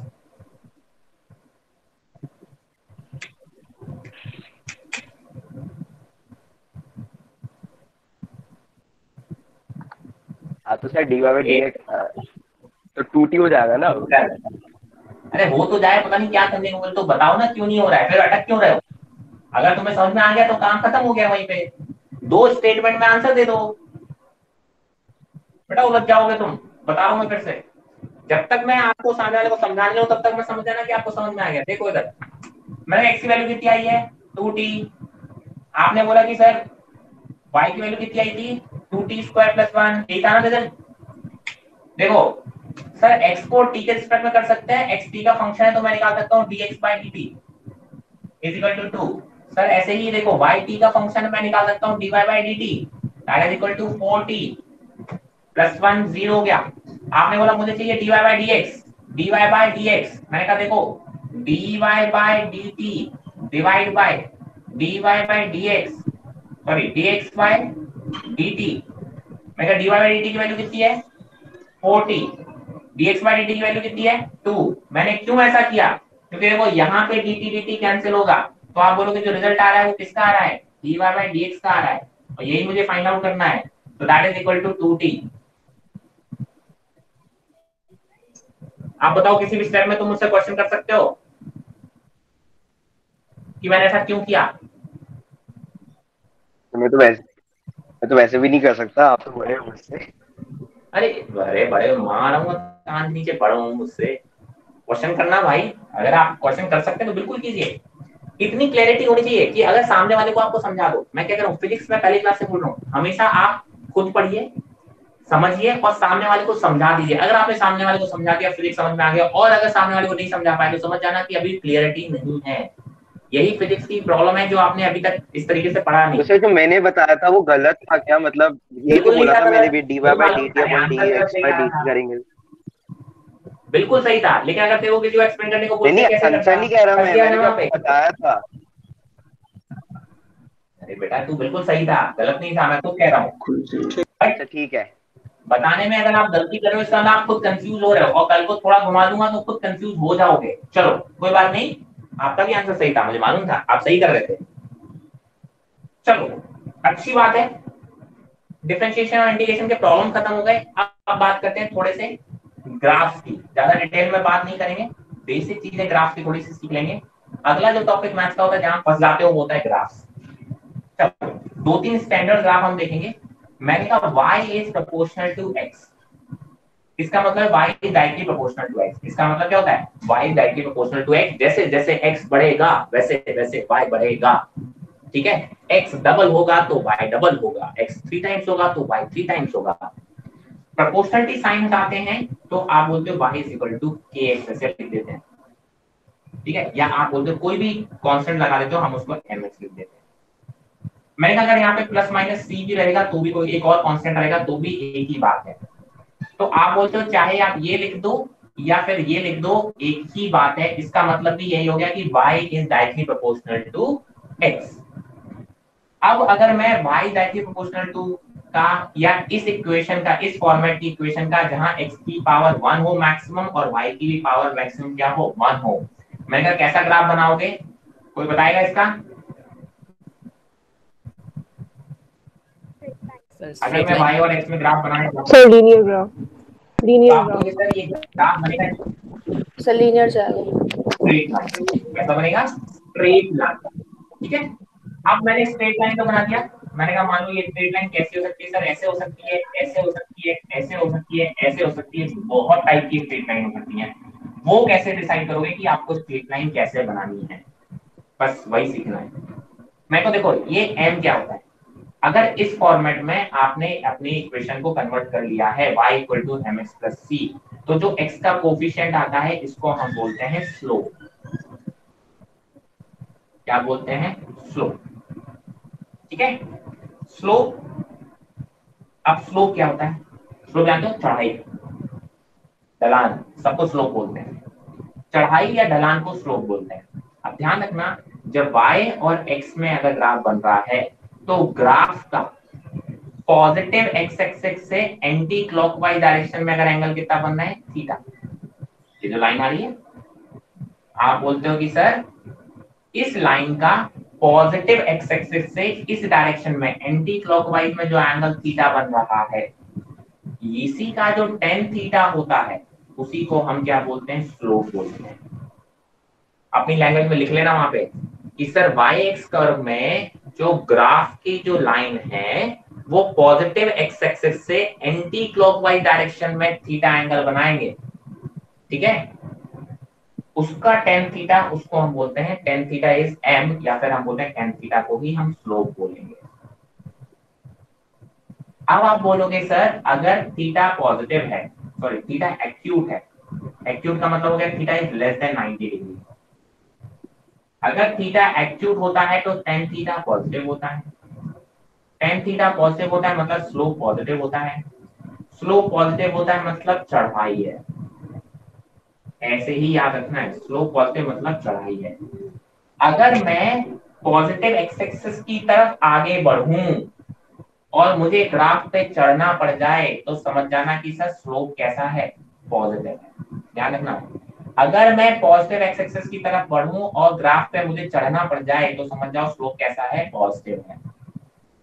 ध्यान से सुनना इस चीज़ को। और अगर, देखो, आप क्या बोलोगे, सर, यहाँ से चढ़ोगे? तो चढ़ाई है। अगर यहाँ से देखोगे तो ढलान है। मैंने कहा, जब आप यहाँ से देख रहे हो, ढलान है तो नेगेटिव एक्सेस की तरफ़ देख रहे हो। मुझे नेगेटिव एक्सेस तरफ़ नहीं देखना, हमेशा पॉजिटिव एक्सेस की तरफ़ देखना है। तो पॉजिटिव एक्सेस की तरफ़ तो इसमें क्या रही है? चढ़ाई आ रही है मतलब स्लोप कैसा है? पॉजिटिव अगर ये ग्राफ ऐसा बनता मान लो ये ग्राफ ऐसा बनता है। तो जब आप पॉजिटिव एक्सेस की तरफ़ आगे बढ़ रहे हो तो आपको ढलान मिल रही है। जैसे आप पॉजिटिव एक्सेस की तरफ़ जा रहे हो तो आपको क्या मिल रही है? ढलान मिल रही है। मतलब इस केस के लिए आप बोल रहे हो स्लोप कैसा होगा? नेगेटिव होगा लेस देन ज़ीरो मैंने कहा, देख भी लो। पॉजिटिव एक्स एक्सिस से अगर मैं इसका एंगल बनाऊँ तो ये एंगल 90 डिग्री से बढ़ाएगा। और 90 डिग्री से बढ़ाएगा तो टेन थीटा कैसा आएगा? नेगेटिव आएगा मतलब स्लोप कैसा होगा? नेगेटिव होगा। ठीक है? अगर मैंने कहा, सर, ये स्ट्रेट लाइन ऐसे होती इसका स्लोप कैसा है? क्या आपको चढ़ाई मिल रही है? या ढलान मिल रही है? नहीं। इसका मतलब स्लोप कैसा है? ज़ीरो। ना ढलान है, ना चढ़ाई है मतलब स्लोप कैसा है? ज़ीरो। तो आप देख भी लो, ये पॉजिटिव एक्स एक्सिस के पैरेलल है। तो अगर मैं एक्स एक्सिस से एंगल निकालने जाऊँगा तो कितना आएगा? ज़ीरो। जो चीज़ पैरेलल होती है, उसका एंगल कितना होगा? ज़ीरो। तो आप बोलोगे टेन ज़ीरो कितना होता है? ज़ीरो। मतलब स्लोप कितना होता है? ज़ीरो। तो आप बोलोगे इस लाइन का स्लोप कितना होगा? ज़ीरो। तो ये तो बातें कर ली हमने स्लोप की।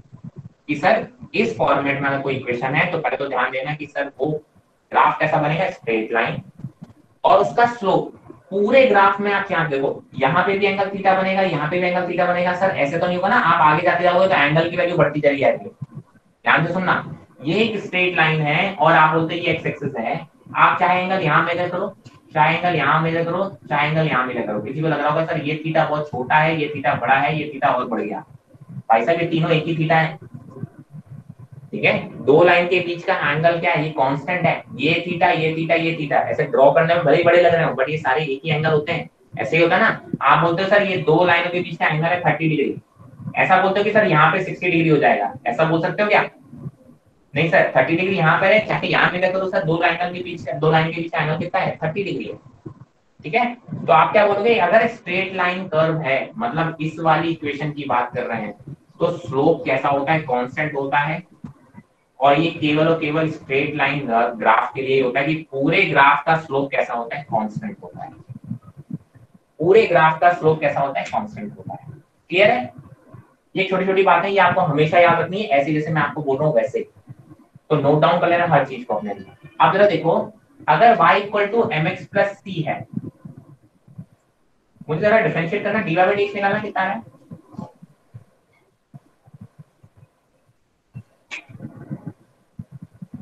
बोलो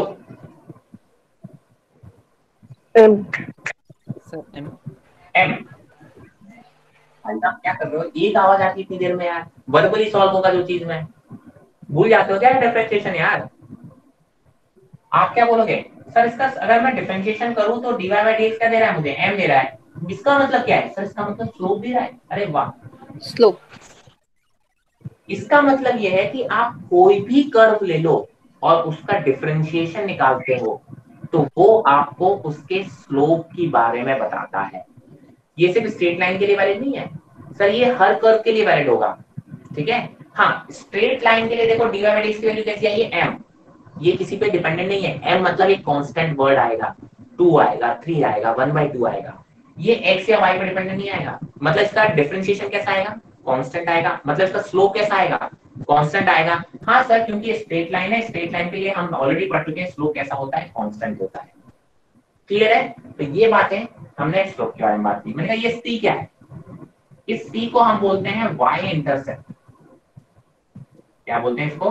वाई इंटरसेप्ट मतलब कि सर ये स्ट्रेट लाइन y को कहाँ पर कट कर रहा है? मैंने कहा सर ये y को यहाँ कट कर रहा है। तब ये जो डिस्टेंस है, y की जो वैल्यू होगी, वो c की वैल्यू होगी, ये c है ना? मैंने कहा सर, ये स्ट्रेट लाइन है।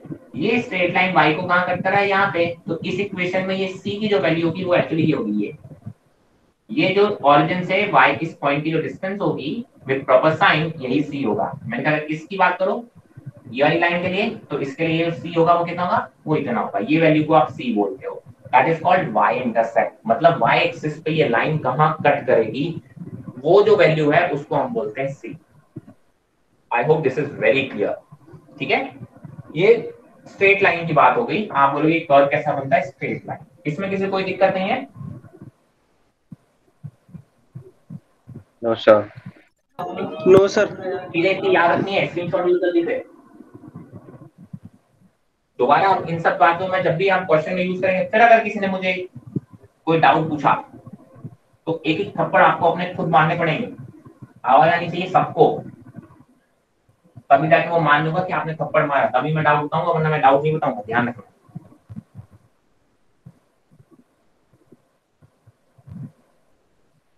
मैंने कहा, सर, दूसरा टाइप की देख अगर y is proportional to x square अभी y is proportional to x की पावर वन था, अब y is proportional to x square है तो आप बोलते हो, सर, या फिर ऐसा भी हो सकता है? इस फॉर्मेट में भी इक्वेशन हो सकता है। y is equal to some constant square plus bx plus c, ऐसा भी हो सकता है है ना? की हाईएस्ट पावर यहाँ पे भी टू है हम हमेशा हाईएस्ट पावर की बात करते हैं मिनिमम पावर उसके नीचे वाली पावर कुछ भी उससे मतलब नहीं है। मतलब क्वाड्रेटिक इक्वेशन क्या है? क्वाड्रेटिक इक्वेशन है, या तो इस फॉर्मेट की बात करो या इस फॉर्मेट की बात करो, एक मैंने कहा जब भी इस टाइप की इक्वेशन बनेगी तो आप बोलोगे पैराबोला बनेगा। ग्राफ का शेप कैसा होगा? पैराबोला ऐसा ठीक है? आप बोलोगे, सर, y देखो। X की वैल्यू यहाँ वन रखोगे तो y की वैल्यू कितनी आ रही होगी? सर वन आ रही होगी। X की वैल्यू माइनस वन रखोगे तो भी y की वैल्यू कितनी आएगी? वन ही आएगी। वन का square is one minus one का स्क्वायर इज़ वन तो मतलब आप क्या बोलोगे? सर, अगर मान लो x की एक वैल्यू और x की दूसरी वैल्यू ये मान लो प्लस वन है और ये माइनस वन है, आप बोलोगे, दोनों के लिए देखो, x, y की वैल्यू कैसी आ रही है? सेम आ रही है। X की वैल्यू वन के लिए भी y की वैल्यू कितनी आ रही है? सर, ये x की वैल्यू माइनस वन के लिए आप बोलोगे y की वैल्यू कितनी आ रही है? ये आ रही है। मतलब देखो, दो वैल्यूज़ ऑफ़ x के लिए एक वैल्यू ऑफ़ y मिलेगा। आप बोलोगे, ये पैराबोला बनेगा। अब ये पैराबोला ऐसा भी बन सकता है। कब बनता है? जब इसका कोफिशिएंट एक्स स्क्वायर का कोफिशिएंट पॉजिटिव होता है है ना? जिसको मैं ऐसे बोल देता हूँ। अगर ये ग्राफ ऐसा बन गया,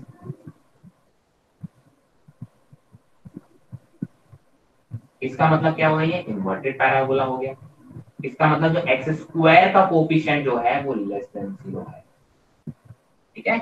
इसका मतलब क्या हो गया? एक्स स्क्वायर का कोफिशिएंट कैसा है? लेस देन ज़ीरो तो जब भी दो वेरिएबल में रिलेशन कुछ ऐसा हो, y is proportional to x square तो समझ जाना सर पैराबोला बनेगा और उसका शेप कुछ ऐसा होगा।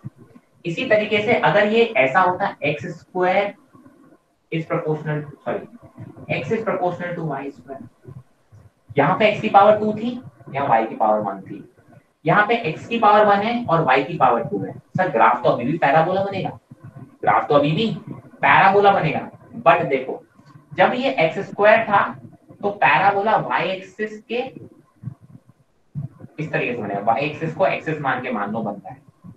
अब यहाँ पे आप क्या बोलोगे सर अब यहाँ पे x की पावर वन है, y की पावर टू है। इसका मतलब पैराबोला तो बनेगा? बट ये पैराबोला ऐसा बनेगा। तो ये y हो गया, ये x हो गया, अब ये पैराबोला तो पैराबोला तो अभी भी बनेगा। बट पैराबोला का जो ये वर्टिकल या डाउनवर्ड की जगह पे अब ये हॉरिजॉन्टल पैराबोला बनेगा। अब वही बात है वाई स्क्वायर अगर मतलब इसका कोफिशिएंट वाई स्क्वायर का कोफिशिएंट अगर पॉजिटिव है तो ये ग्राफ ऐसा बनेगा। वाई स्क्वायर का कोफिशिएंट अगर नेगेटिव होगा तो ये ग्राफ का शेप उल्टा हो जाएगा। बस, इसमें ज़्यादा कोई दिक्कत नहीं है। अब जरा ध्यान से सुनना। मैंने कहा, सर अब देखो, इस ग्राफ में पहले चलो यहाँ से। मैं जब यहाँ से जा रहा था, देखो, मेरे को पहले ढलान मिली। सर सर, ये फिर से बताने वाला। कौन सा वाला? X proportional to y square आपने बोला कि सर x अगर y proportional to x square है तो पैराबोला ऐसे बनने वाला है मतलब x की दो वैल्यूज़ के लिए y की एक वैल्यू मिलेगी। यहाँ पे क्या होगा? Y की दो वैल्यूज़ के लिए x की एक वैल्यू मिलने वाली है। अब आप जरा देखो मैंने कहा x इक्वल टू मैंने कहा y की वैल्यू रख लो मैंने कहा y की वैल्यू यहाँ पे रख दी वन तो x की वैल्यू कितनी मिलेगी? सर वन मैंने कहा y की वैल्यू माइनस वन रख दो सर मतलब ये रख दो। तो इस पे भी इस पे भी ग्राफ आपका कैसा बनेगा? ये आपको कट करेगा तो आप बोलोगे, सर, y की दो वैल्यूज़ के लिए अब x की एक ही वैल्यू मिलने वाली है तो इसलिए पैराबोला ये ऐसा बनने वाला अब y स्क्वायर का कोफिशिएंट अगर पॉजिटिव है तो ये कर्व ऐसा बनेगा। y स्क्वायर का कोफिशिएंट अगर नेगेटिव हो गया तो ये पैराबोला इधर की तरफ़ मूव कर देगा, बस अपना सही चेंज कर लेगा ठीक है? बट बनेगा इस तरीके से हॉरिजॉन्टल तो जिसकी पावर 2 होती है ना, जिसकी पावर 2 है ठीक है? या कैसे तो जिसकी पावर यहाँ पे वन है, उस एक्सेस के सिमेट्री बनने की कोशिश करता है। यहाँ पे y की पावर वन है तो देखो y के अराउंड ये सिमेट्रिक बनने की कोशिश करता है। यहाँ पे x की पावर वन है तो ये x एक्सिस के अराउंड पैराबोला बनाने की कोशिश कर रहा है। अब जरा देखो मैं दूसरी बात बताने वाला मैंने कहा, सर, जब मैं इस कर्व में जा रहा था, देखो, मैं कर्व से यहाँ जा रहा हूँ, जा रहा हूँ, जा रहा हूँ, जा रहा हूँ, यहाँ पे जैसे ही पहुँचा, अभी यहाँ तो कर्व था ही नहीं।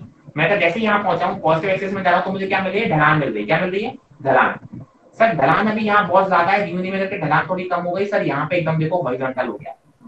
यहाँ पे ढलान ज़ीरो हो गई। फिर और आगे जाऊँगा तो मेरे को चढ़ाई मिलना स्टार्ट हो गई। और चढ़ाई बढ़ती चली जा रही है। एकदम स्लोप ऐसा खड़ा होता चला जा रहा है तो मुझे आप बोलोगे चढ़ाई बढ़ रही है। तो इसका मतलब इसका स्लोप कांस्टेंट तो नहीं है। इसका मतलब स्लोप कांस्टेंट तो नहीं है। मैंने कहा, अगर इधर की बात करें इस रीजन की बात करें तो ढलान मिल रही है। ढलान का मतलब क्या हो गया? स्लोप नेगेटिव हो गया। मैंने कहा, इस रीजन की बात करें तो चढ़ाई मिल रही है मतलब स्लोप कैसा हो गया? पॉजिटिव हो गया। तो इसका मतलब इस पॉइंट की बात करें तो यहाँ पे एकदम फ्लैट हो रहा होगा इसका मतलब यहाँ पे इस पॉइंट पे स्लोप कितना हो रहा होगा? ज़ीरो भी हो रहा होगा इस जगह पे। ठीक है तो इसमें स्लोप कांस्टेंट नहीं होता। अब स्लोप निकालने का तरीका क्या है? मैं कहता हूँ करो। इसको डिफरेंशिएट करोगे तो देखो कितना आएगा dy by dx is equal to 2ax plus b अब जरा देखो, मान लो ये थोड़ी देर के लिए b ज़ीरो है। मान लो थोड़ी देर के लिए ज़ीरो है। आपने बोला देखो x का कोफिशिएंट a अगर a ग्रेटर देन ज़ीरो होगा, इस ग्राफ की बात हो रही है। A ग्रेटर देन ज़ीरो मतलब a पॉजिटिव है, x की बात करो। जब x नेगेटिव होगा मतलब इधर तो dy by dx क्या होगा? नेगेटिव होगा। मतलब सर स्लोप कैसा होगा? नेगेटिव होगा।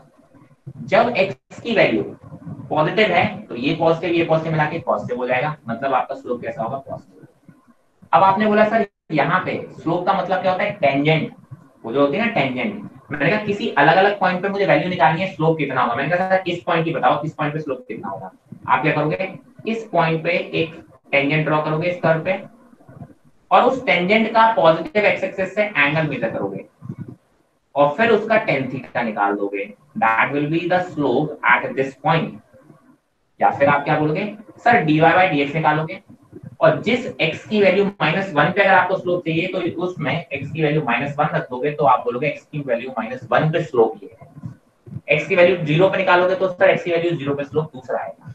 x की वैल्यू टू पे निकालोगे तो आप बोलोगे, सर, x की वैल्यू टू पे स्लोप दूसरा आएगा। तो अलग अलग पॉइंट पे अगर वैल्यू निकालना है, dy बाई dx पता है आपको तो स्लोप आप बड़े आराम से निकाल पाओगे। नहीं तो कर्व में क्या होता है, जिस पॉइंट पे भी आपको स्लोप चाहिए होता है, उस पॉइंट पे टेंजेंट ड्रॉ करते हैं। और उस टेंजेंट का पॉजिटिव वाले एक्स एक्सिस से इस डायरेक्शन में एंगल निकालते हैं और उसका tan theta is called the slope at that point और जब भी ये कर्व बन रहा होता है तो स्लोप कैसा होता है? चेंज होता रहता है। अलग अलग पॉइंट पे अलग अलग स्लोप आएगा। स्ट्रेट लाइन में हर जगह पे देखो सेम टेंजेंट ड्रॉ होगी। अरे वो स्ट्रेट लाइन ही टेंजेंट का काम करेगी पूरे कर्व पे। तो सेम टेंजेंट ड्रॉ करोगे तो आप बोलोगे हर बार एंगल कैसा होगा? कांस्टेंट होगा। इसलिए आप बोलते हैं स्ट्रेट लाइन में पूरे ग्राफ में स्लोप कैसा होता है? कांस्टेंट होता है। स्लोप के बारे में बहुत अच्छे से बातें कर लेना इसी को ध्यान रखना। क्लियर है ये बात? यहाँ तक कोई दिक्कत? नो सर चलो एक चीज़ मैं पिछले से बताना भूल गया वो चीज़ और नोट कर लो। अगर मैं इस कर्व का डिफरेंशिएशन कर दूँगा तो मुझे स्लोप के बारे में जानकारी देना चालू कर देगा अगर मैं इसको इंटीग्रेट कर दूँगा ये अगर मैं ऐसा लिख दूँगा जब डिफरेंशिएट करोगे एक्स रिस्पेक्ट में तो आपको स्लोप देगा। अगर मैं इंटीग्रेट करूँगा इस कर्व को तो पता आपको क्या देगा? वो देगा ये एरिया ये कर्व का एक्स एक्सिस के साथ कितना एरिया है, वो देगा। ठीक है? तो आप बोलोगे, अगर मुझे एरिया निकालना है दिस एरिया तो आप क्या करोगे, सर? मुझे बोला, सर, इस पॉइंट से इस पॉइंट के बीच का क्या निकालना है? कि ये कर्व कितना एरिया निकाल, बना रहा है। मैंने कहा, ये x इक्वल टू ए है और ये x इक्वल टू बी है। तो आप क्या करोगे, sir, x equal to a से लेके x इक्वल टू बी ठीक है? लिमिट किसकी होती है? X की होती है। मैंने x इक्वल टू ए से लेके x इक्वल टू बी तो lower limit is a upper limit is b integrate कर दो तो वो क्या देगा सर? एरिया देगा। Area under the curve with x axis अगर यहाँ x वेरिएबल है तो x एक्सिस के साथ एरिया देगा। तो इंटीग्रेशन की हेल्प से हम कई बार एरिया भी निकाल सकते हैं कर्व का। ऐसे तो इस कर्व का एरिया निकालना मेरे लिए बड़ा मुश्किल होगा। पैराबोला यार, मुझे सॉल्व करने नहीं आते एरिया वगैरह। ठीक है? बट अगर आपको इस पैराबोला की इक्वेशन पता है तो आप क्या करोगे? सर उसका इंटीग्रेशन करोगे और किस पॉइंट से किस पॉइंट के बीच में मुझे चाहिए एरिया आप क्या करोगे? सर लिमिट रखोगे और आप उसके एरिया निकाल पाओगे। तो अगर आपको कर्व की इक्वेशन पता है, उसको डिफ्रेंशिएट करोगे तो आपको स्लोप देगा। स्लोप की इक्वेशन देगा। अलग अलग पॉइंट पे स्लोप फाइंड आउट करने में हेल्प करेगा। और अगर आपको कर्व की इक्वेशन पता है, अगर उसको इंटीग्रेट कर दोगे तो वो आपको एरिया अंडर द कर्व भी दे सकता है। तो जैसे भी हमें जहाँ रिक्वायरमेंट होती है, हम उसी तरीके से उसको यूज़ करते हैं। क्या ये चीज़ें क्लियर है, दोनों चीज़ें? सर डिफरेंशिएशन क्या दे रहा है? स्लोप दे रहा है और इंटीग्रेशन क्या दे रहा है? एरिया दे रहा है। यहाँ तक किसी कोई दिक्कत?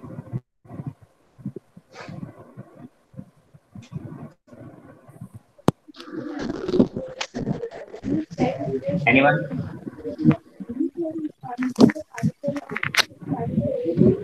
नहीं है दिक्कत तो मना भी करो यार। चुपचाप बैठे हो पता नहीं क्या। ज़िंदा होना सब? नो सर दिक्कत नहीं है। ज़िंदा नहीं हो? तो दिक्कत नो सर मतलब आंसर भी ऐसे टाइम पे देते हो?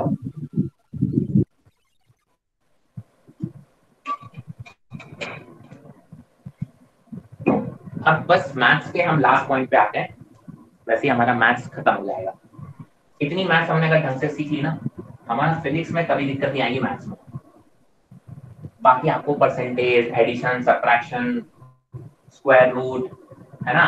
रेशियो निकालना, ये सब मैं उम्मीद करता हूँ कि आपको आता है। क्वाड्रेटिक के कभी रूट्स निकालने को भी बोल दिया जाता है।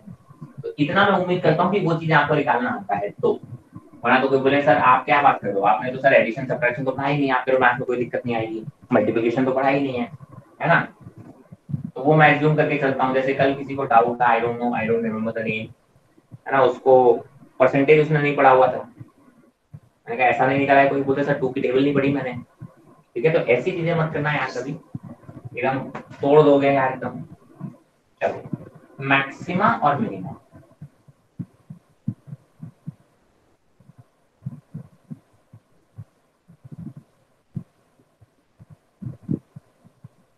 y is equal to some function x का एक फ़ंक्शन ठीक है? अब उस फ़ंक्शन की एक मैक्सिमम वैल्यू भी हो सकती है और एक मिनिमम वैल्यू भी हो सकती है। वो कैसे फाइंड आउट करेंगे, वो हमने देखना है। है ना? ये कहाँ यूज़ होता है, सर पोटेंशियल एनर्जी मैक्सिमम कहाँ होगी? पोटेंशियल एनर्जी मिनिमम कहाँ होगी? ये सब फाइंड आउट करते हैं। मैंने कहा, ये y हो गया, ये x हो गया, मान लो ये कर्व ऐसा है कुछ। ठीक है? तो आपको दिख रहा है, सर, y की मैक्सिमम वैल्यू कहाँ लाई कर रही है? ज़्यादा ऊपर बना के बना लेते हैं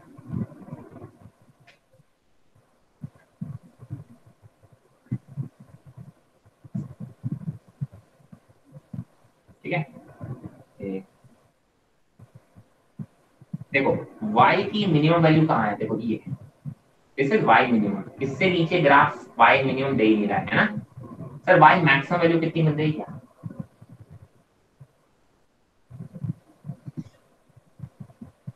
तो मिनिमा या मैक्सिमम निकालने के लिए आप पहला स्टेप देखो क्या करना है। मैंने कहा जरा देखो चाहे मिनिमा निकालो चाहे मैक्सिमम निकालो। इस वाले पॉइंट पे अगर मैं एक टेंजेंट ड्रॉ करने की कोशिश करूँ तो ड्रॉ ऐसे होगा टेंजेंट इस पॉइंट पे भी अगर मैं टेंजेंट ड्रॉ करने की कोशिश करूँ तो टेंजेंट कुछ ऐसा ड्रॉ होगा। इसका मतलब पता क्या है? मैं मिनिमा और मैक्सिमम वाले पॉइंट पे स्लोप कितना होता है? कोई बताएगा? ज़ीरो ज़ीरो ज़ीरो तो सबसे पहला स्टेप तो मुझे निकालना पड़ता है कि सर dy बाय dx. और उसको उठा के क्या कर दो ज़ीरो पहले मुझे पॉइंट्स निकालने पड़ते हैं। कि sir dy by dx zero कहाँ कहाँ हो रहा है? मैंने कहा, सर, एक तो x equal to x one पर ज़ीरो हो रहा है और x equal to x two पर ज़ीरो हो रहा है। है ना? मैंने कहा, सर, कहाँ कहाँ ज़ीरो हो रहा है? सर, एक x equal to x one पे हो रहा है और x is equal to x two पे हो रहा है। तो हम क्या करेंगे? स्लोप निकालेंगे किसी भी इक्वेशन का। उसको ज़ीरो से पुट कर देंगे तो हमें x1 और x2 ऐसे आ सकते हैं। कितने भी पॉइंट्स आ सकते हैं डिपेंडिंग ऑन द इक्वेशंस अब ये तो मुझे पता चल गया, इस पॉइंट पे या तो y मैक्सिमम होगी या मिनिमम होगी। अब मैक्सिमम होगी कि मिनिमम होगी, ये अभी नहीं पता चला मुझे। तो सबसे पहला स्टेप तो दोनों में कॉमन है। अब जरा देखो। स्लोप का मतलब पता है क्या होता है? स्लोप देता है dy by dx मतलब y का चेंज दे रहा है के रिस्पेक्ट में कितनी तेज़ी से चेंज हो रहा है। ठीक है? मैंने कहा, देखो, यहाँ पे स्लोप कैसा है? नेगेटिव यहाँ स्लोप कैसा है पॉजिटिव अब सबको समझ में आना चाहिए क्यों? मैं कहा ढलान है इस एरिया में और इस एरिया में पॉजिटिव है। तो नेगेटिव से पॉजिटिव जा रहा है। ठीक है? मैंने कहा सिमिलरली यहाँ पे देखो पॉजिटिव से नेगेटिव आ रहा है। यहाँ पे स्लोप घट रहा है। स्लोप घट रहा है। है ना? वैल्यू की बात नहीं कर रहा है स्लोप घट रहा है।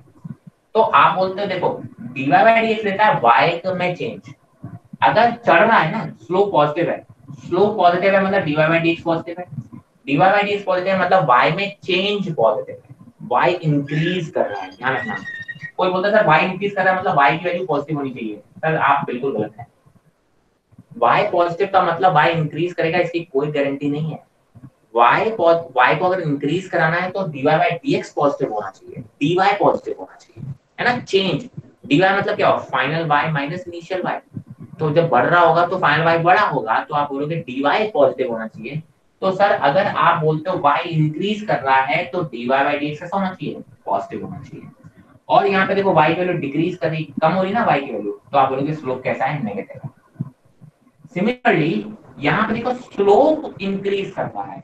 नेगेटिव से पॉजिटिव जा रहा है मतलब स्लोप इंक्रीज कर रहा है। स्लोप इंक्रीज कर रहा है मतलब स्लोप का डिफरेंशिएशन पॉजिटिव होना चाहिए। Y इंक्रीज करने का मतलब पता है? अगर y इंक्रीज कर रहा है it means dy by dx कैसा होना चाहिए? पॉजिटिव होना चाहिए।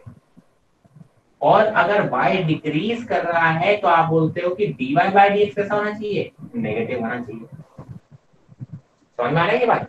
कि सर, यहाँ पे y इंक्रीज कर रहा है मतलब उसका डिफरेंशिएशन कैसा है? पॉजिटिव है। Y अगर डिक्रीज कर रहा होगा तो उसका डिफरेंशिएशन कैसा आएगा? नेगेटिव होगा। मैंने कहा, अगर मुझे स्लोप की बात करना है स्लोप स्लोप इंक्रीज कर रहा है। स्लोप कहाँ पे इंक्रीज कर रहा है देखो। नेगेटिव से पॉजिटिव जा रहा है स्लोप मतलब स्लोप बढ़ रहा है। स्लोप अगर बढ़ रहा है, इस पॉइंट की बात कर रहा हूँ तो मतलब ये कहाँ पे बन रहा है? मिनिमा बन रहा है।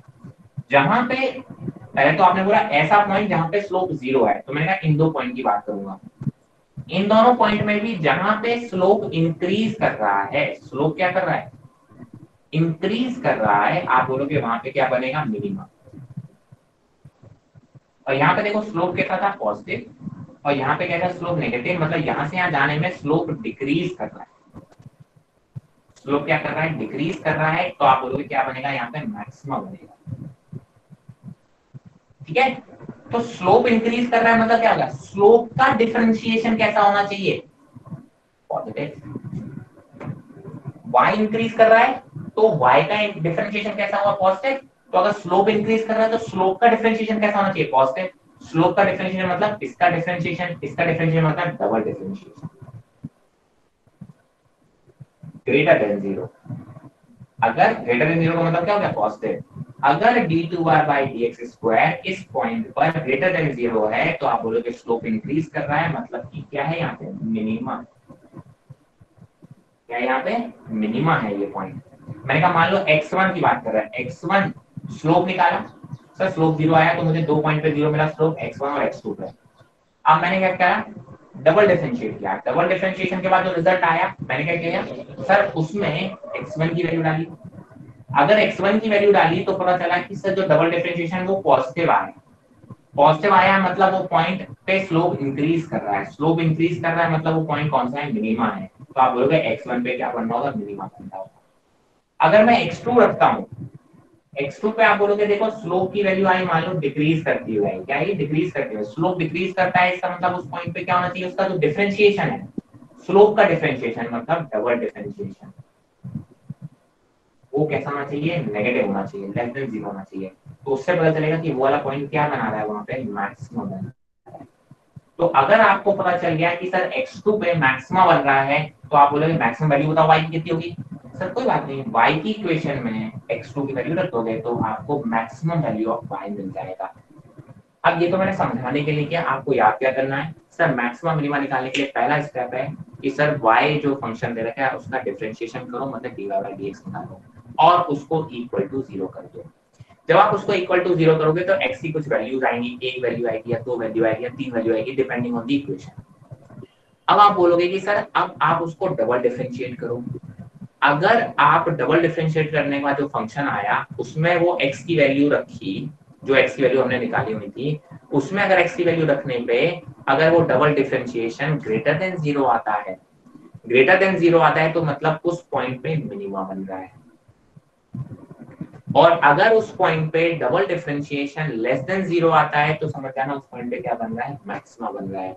और आप पता कर पाओगे कि सर उस पॉइंट पे मैक्सिमा बन रहा है या मिनिमा बन रहा है। कोई दिक्कत इसमें किसी को? समझ में आई है ये बातें? यस सर यस एकदम मतलब मैक्सिमम मिनिमा की बातें एकदम क्लियर आ गई आपको एकदम समझ में आती है? यस सर चलो मैंने कहा बहुत अच्छी बात है। मुझे आप बताओ y is equal to two x square plus three x plus two पहले तो मुझे ये बताओ y मैक्सिमा y की मैक्सिमम वैल्यू कितनी होगी? Y मैक्सिमम कितना होगा? कितना होगा? Y मैक्सिमम कर पाओगे आप? Y is equal to two x square plus three x plus two बताओ y की मैक्सिमम वैल्यू कितनी होगी? पहले तो मुझे ये बताओ कि इसकी मैक्सिमम वैल्यू होगी या मिनिमम होगी? ऐसा भी हो सकता है, ज़रूरी नहीं है। दोनों ही लाई करेंगे। मुझे, चलो आप कितने निकालो? मैक्सिमम वैल्यू कितनी होगी? अगर होगी तो कितनी होगी? वो बताना है वाई मैक्सिमम कितना होगा? Two x square plus three x plus two screenshot ले लो मैं इसको रेस भी कर रहा हूँ।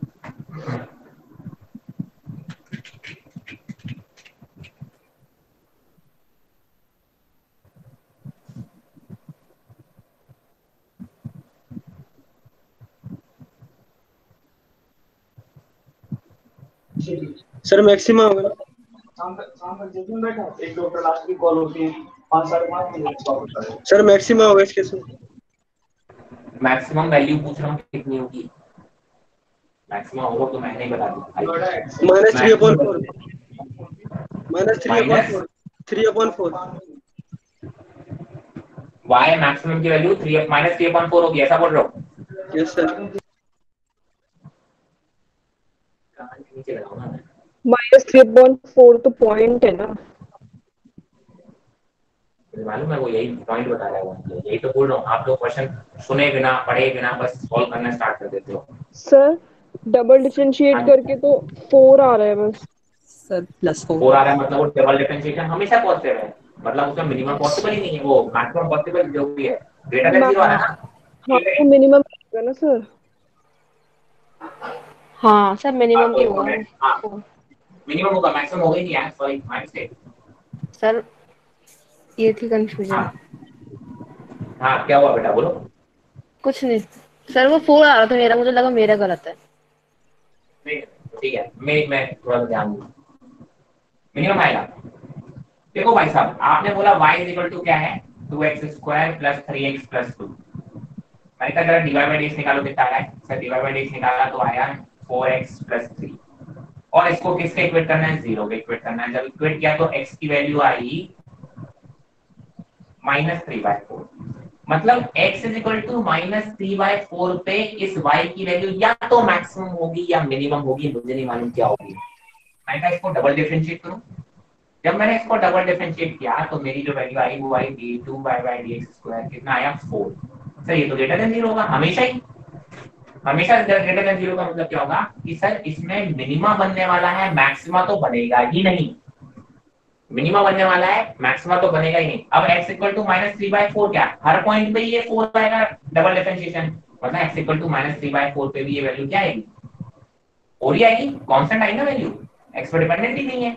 तो आप बोलोगे, सर, इस पॉइंट पे क्या बनने वाला है? सर, आप बोलोगे मिनिमा बनेगा। अब ये पॉइंट ऑफ़ मिनिमा है। मैंने क्या पूछा? Y मिनिमम की वैल्यू बताओ कितनी होगी? तो आप क्या करोगे? इसमें x की वैल्यू रखोगे। तो आप बोलोगे, y मिनिमम की वैल्यू कितनी आएगी? तो that will be equal to 2 x की वैल्यू रख दोगे माइनस थ्री बाय फोर का whole square plus three into minus three by four plus two solve कर लोगे तो जो कुछ वैल्यू आएगी वो इसमें minimum जो भी आएगी। देखो भाई साहब आप ग्राफ से भी थोड़ा दिमाग लगाओ। मैंने कहा सर अगर क्वाड्रेटिक बन रहा है पैराबोला ग्राफ बनेगा एक्स स्क्वायर कोफिशिएंट कैसा है पॉजिटिव ये ग्राफ ऐसा बनेगा। समवेयर ऐसा कुछ बन रहा होगा। शेप इसका ऐसा कुछ होगा। क्या इसमें पॉसिबल क्या है? मिनिमम भी पॉसिबल है ना? मैक्सिमम तो, तो इनफाइनाइट तक चला जाएगा ग्राफ आगे किससे चलेगा तो इस ग्राफ को देख के भी समझ में आ रहा है कि सर यहाँ कहीं मिनिमम बन रहा होगा। कहाँ बन रहा होगा समझ नहीं। तो ये तो पता है कि मिनिमम बन रहा है। तो आप क्या बोलोगे? जो भी पॉइंट आएगा आपको ये सॉल्व करने की ज़रूरत नहीं है अगर आपको ग्राफ पता है। आपने बोला ये वाला पॉइंट है इसको उठा के रख दो वाई मिनिमम भी आएगा क्योंकि मुझे ग्राफ पता है। अभी इस क्वेश्चन को मैं थोड़ा घुमा दूँ। मैंने कहा sir y is equal to minus two x square कर दो अब इसमें मैक्सिमम बनेगा। अब आपको y मैक्सिमम बनाना है। क्यों मैक्सिमम बनेगा? क्योंकि अब ये ग्राफ इन्वर्टेड पैराबोला हो। जाएगा एक्स स्क्वायर का कोफिशिएंट कैसा हो गया? नेगेटिव हो गया। तो आप बोलोगे, देखो सर इसमें मिनिमम वैल्यू तो कहीं पे भी जा सकती है, नीचे तक। बट मैक्सिमम वैल्यू कुछ एक लाई करेगी। तो अब आप सॉल्व करोगे ऐसे ही? Y मैक्सिमम निकाल लोगे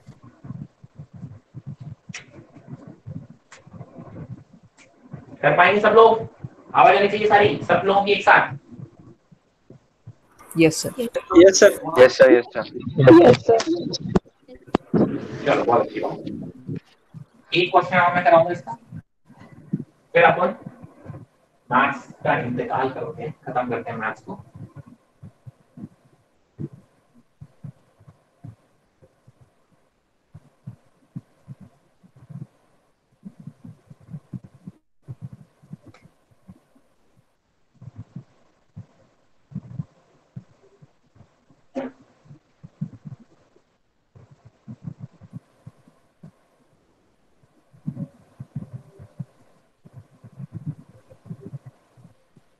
सर, f की मिनिमम वैल्यू बताओ कितनी होगी?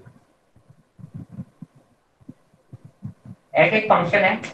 Two three sine theta plus four cos theta two upon three sine theta plus four cos theta मैं कह दूँगा f मिनिमम मैं आपको बताना सिखा, ये सिखाना था इसलिए मैं आपको बता रहा हूँ कैसे आएगी। देखो, ये तो ऊपर वाली कांस्टेंट है। अगर आपको एफ़ की वैल्यू को मिनिमम करना है तो नीचे वाली क्वांटिटी को क्या करना पड़ेगा? मैक्सिमम करना पड़ेगा। नीचे वाली क्वांटिटी को क्या करना पड़ेगा? मैक्सिमम करना पड़ेगा। तो इसको प्रॉपर तरीका क्या होगा? आप y इज़ इक्वल टू क्या कर दो? Three sine theta plus four cos theta इसकी मैक्सिमम वैल्यू निकाल लो और यहाँ पुट कर दो। ये तो प्रॉपर तरीका होगा। मैं कहता हूँ, आपके लिए शॉर्ट ट्रिक की तरह आप हमेशा क्या रखोगे कि सर, जब भी आपका इस फॉर्मेट में कोई फॉर्मूला हो, a sine theta plus b cos theta इसकी जो मैक्सिमम वैल्यू होती है that is equal to under root of a square plus इस फॉर्मेट में अगर आपको कोई रिलेशन दे रखा हो, इसकी मैक्सिमम वैल्यू कितनी होती है? Under root of a square plus b square a sine theta plus b cos theta ठीक है? तो मैंने कहा, सर, यहाँ पे ए की वैल्यू इससे कंपेयर करोगे तो कितनी है? थ्री है। और बी की वैल्यू कितनी है? फोर है। तो इसकी मैक्सिमम वैल्यू कितनी होगी? आप बोलोगे, sir that is under root of three square plus four square that is equal to five f minimum कितना आ जाएगा? सर, यहाँ पे रख दो मैक्सिमम वैल्यू तो two by five will be the f minimum मुझे बस ये आपको देना था इसलिए मैंने ये क्वेश्चन आपको कराया एफ़ मिनिमम की वैल्यू कितनी आ गई आपकी? टू बाय फाइव क्लियर है बात? Yes no yes no Yes, sir. Yes sir sir वो ऊपर वाली वैल्यू को डबल करके उसके इक्वेट कराएगा क्या क्या क्या? डबल करके इक्वल किया मतलब? ये ये मतलब स्क्वायर करा है टू का फोर टू का फोर नहीं बेटा। कहाँ हो तुम? सर वो वाला स्टेप समझ नहीं आया ना फोर वाला। कौन सा फोर ये बा- अरे बजे ये मैंने समझाया था कि इसको आप एक फ़ंक्शन मान सकते हो y equal to three sine theta plus cos theta उसको सॉल्व करके इतनी मैक्सिमम वैल्यू निकाल सकते हो अच्छा proper है ना। उससे कंफ्यूजन हो रहा था वो। तो तू सुनता नहीं क्या मेरी बात? सुना भी तो कर। नहीं सर सुनता सुनता हूँ सर सुनता तो ये तो मैंने कहा था अगर प्रॉपर मेथड से सॉल्व करोगे तो। ये तो आपको यूज़ ही नहीं करना था। मैंने कहा कि शॉर्ट ट्रिक ये है। पता नहीं क्या सुनता रहता है कहाँ फंसा रहता है तो। आप बोलोगे सर शॉर्ट ट्रिक ही है। ठीक है? चलो। एक छोटी सी और चीज़ जल्दी से दो तीन फॉर्मूले बताऊँगा लॉगरिथम के अच्छा कितने लोग कहते हैं सर मुझे लॉगरिथम आती है जरा बताएँ? एनीवन जो बोल सकता है सर मुझे लॉग आता है। एनीवन एनीवन कोई भी? सर फॉर्मूला आते हैं फॉर्मूले आते हैं? हाँ सर चलो है एनीवन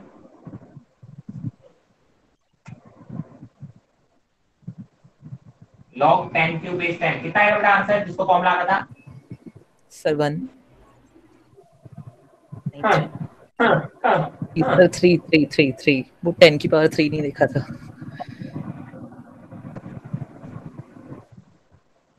चलो। और अगर मैं इसको कर दू हंड्रेड वन अब कितना आएगा?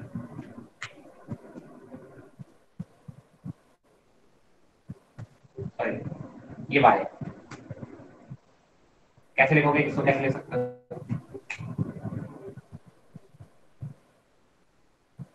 इसको और कोई तरीका लिखने? चलो खैर, मैं बताता हूँ। टाइम ज़्यादा नहीं मैं क्या देखो लॉग भी बहुत सिंपल सी चीज़ है आपको सिर्फ़ बेवकूफ़ बनाते हैं। कैसे? मैं क्या देखो एन की पावर थ्री कितना होता है? बोलो। थाउज़ेंड थाउज़ेंड ठीक है? इसका मतलब क्या है? कि सर अगर मैं इसको यहाँ लेके जाऊँ तो ऐसे लिखूँगा ये होता है लॉग इसका मतलब क्या है? कि अगर मैं इस बेस की पावर ये लिख दूँ तो मुझे ये मिल जाएगा। दैट इज़ लॉग इस बेस की पावर को ये कर दूँ तो मुझे क्या मिल जाएगा? थाउज़ेंड इसका मतलब अगर कोई लिखा हुआ है x is equal to log of thousand तो आप बोलोगे एक्स की वैल्यू कितनी आएगी? तो आप क्या करोगे? सर इसको ऐसे भी लिख सकते हो टेन की power x is equal to thousand मतलब एक्स की वैल्यू किसके बराबर आ गई? सिक्स के बराबर आ गई? तो ये ऐसा होता है। इसका मतलब बस इतना सा होता है। ये आपको समझ आना चाहिए। ठीक है? कि लॉग का एक्चुअल मतलब क्या होता है? लॉग का एक्चुअल मतलब होता है ये कि सर अगर ऐसा लिखा है तो उसे लॉग में लिखने का तरीका क्या हो गया? कि सर लॉग इसका बेस का कितनी पावर कर दूँ कि ये थाउज़ेंड मिल जाएगा? मतलब टेन की पावर एक्स किसके बराबर होती है? थाउज़ेंड के बराबर होती है। इसका मतलब ये होता है। ठीक है?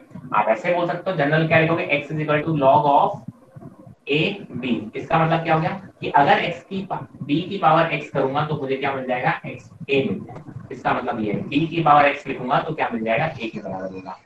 लॉग का कहने का मतलब बस इतना ही है। अब आपको जैसे पता है x की पावर m इंटू एक्स की पावर एम कितना हो जाता है? X की पावर एम प्लस वन हो जाता है। ऐसे होता है? X की power m divide by x की पावर m कितना हो जाता है? X की पावर m माइनस ऐसे हो जाता है कि नहीं हो जाता है? मैंने कहा, सर, ये पावर का तो फंडा है। तो इसलिए यहीं से ये फ़ंक्शन बन जाते हैं log ऑफ़ ठीक है? आप क्या लिखोगे? यहाँ से अगर आप सॉल्व करने जाओगे तो आप क्या लिखोगे? M into n log any base is equal to log of m plus log of n ठीक है? अगर दो चीज़ों का मल्टीप्लीकेशन है तो आप उसको ऐसे लिख सकते हो। ये बेस अगर मैं कुछ नहीं लिख रहा हूँ, जब यहाँ पे बेस कुछ नहीं लिख रहा हूँ, इसका मतलब होता है बेस टेन ध्यान रखें। जब कुछ नहीं लिख रहा हूँ तो मतलब बेस होता है टेन सिमिलरली अगर मैं log of m by n लिखूं, दो फ़ंक्शन है, उनका डिवीज़न है तो that can be written as log of m minus log of n ठीक है? इसी तरीके से अगर मैं लिखूं log of a base b अगर मैं इनका बेस चेंज करना चाहता हूँ तो मैं उनको ऐसे ले सकता हूँ, log of a any other base, मैं c भी ले सकता हूँ, मैं e भी ले सकता हूँ, या 10 भी ले सकता हूँ, मैं उसको मान 10 can be written as log of b base 10 ये कुछ फॉर्मूले हैं, ठीक है? एक दो फॉर्मूले और। अगर log of x की पावर m है दैट कैन ये पावर बाहर आ जाती है। तो आप ऐसे भी लिख सकते हो, m e x ठीक है? समझ में क्या करना चाह रहा हूँ? मैं सिर्फ़ फॉर्मुले आपको लिखवा रहा हूँ यहाँ पे, और यही फॉर्मुले आपके हर जगह यूज़ होने हैं। सिमिलरली अगर मैं बोलना चाह रहा हूँ लॉग ऑफ़ और बताना चाह रहा था हाँ लॉग ऑफ़ बेस ई है अगर। लॉग ऑफ़ बेस ई का मतलब होता है नेचुरल लॉग इसको हम क्या बोलते हैं? नेचुरल लॉग नेचुरल लॉग का मतलब होता है हम इसको एल ऑफ़ एक्स भी लिख देते हैं। इसका मतलब क्या हो गया कि सर बेस में क्या है? ई e है। अगर बेस में कुछ नहीं लिखा है सिंपल लॉग लिखा है, इसका मतलब बेस क्या है? टेन है। उसने लिखा है तो बेस क्या है? टेन है, क्योंकि टेन की पावर हमारे सबसे इजी होती है सॉल्व करना, इसलिए हमने अपना स्टैंडर्ड किसको ले रखा है? टेन को ले रखा है। ये चार पाँच फॉर्मूले अगर आपको आते हैं तो आप लॉग की कोई भी प्रॉब्लम अपने लेवल पे, जो भी यूज़ होगी, वो आप सॉल्व कर सकते हैं। ठीक है? कभी कभी मुझे लॉग एक्स पता होता है मतलब बेस टेन में पता होता है मुझे किसमें कन्वर्ट करना होता है? बेस ई e में कन्वर्ट करना होता है। किसमें कन्वर्ट करना होता है? बेस ई e में। कैसे कन्वर्ट करोगे? मैंने कहा सिंपल है यार। कैसे? आप अरे, आप क्या बोलोगे? इस सर यहाँ पे for example log of two base e है और मुझे किसमें कन्वर्ट करना है? लॉग टू बेस टेन में कन्वर्ट करना है तो कितने? है ये वैल्यू आपको पता है और आपको कन्वर्ट किसमें करना है? इसमें कन्वर्ट करना है। तो कैसे करोगे आप? मैंने कहा, देखो log of two by e को कैसे लिख सकते हो? Log of two base ten upon log of e base 10 ऐसे लिख सकता हूँ? And that is equal to log of तो गड़बड़ करके क्या? हाँ। ठीक है दैट किसके बराबर है log of base 2 into e. इसमें इसको मल्टीप्लाई कर दो। ठीक है, अगर मैं इसको मल्टीप्लाई करूँगा तो आप क्या लिख सकते हो? इनटू log of क्या है e base 10 देखो, आपने क्या किया? Log, अगर इसकी वैल्यू आपको पता है तो आप बोलोगे, सर, इसकी वैल्यू मल्टीप्लाई कर दो किससे? Log of e base ten से। इससे मल्टीप्लाई कर दो? Log of e base ten से। और अगर आपको ये पता है, ठीक है, मान लो ये चीज़ वैल्यू पता होती है और आपको इसमें कन्वर्ट करना होता तो क्या करते हैं? सर, इस वैल्यू से इधर डिवाइड कर देते हैं, ठीक है? और ये वैल्यू आपको पता होती है। ये क्या होती है? ये वैल्यू आपको पता होती है। कैसे पता होती है? मैंने कहा, सर, देखो log of ten base e जो होता है, ठीक है?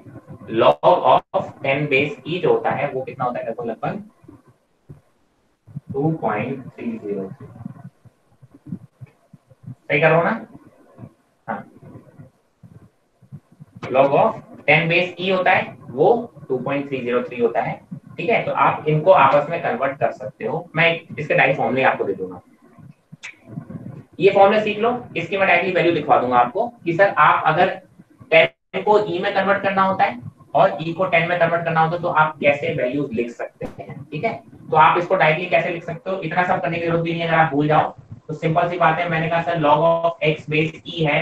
अगर मुझे उसे कन्वर्ट करना है टेन में तो आप सिंपल क्या करोगे? Two point three zero three into log of x base ten ये याद रखो। इन सब की जगह पे आप केवल ये याद रखो। खत्म। आपका काम बन जाएगा। भूल जाओ सब। क्यों इतना परेशान हो गए? मैंने कहा ये अगर मुझे लॉग ई e पता है क्या पता है लॉग ई e, और किसमें कन्वर्ट करना है? लॉग ऑफ़ टेन में कन्वर्ट करना है। बेस ई में पता है और टेन में कन्वर्ट करना है तो क्या करोगे?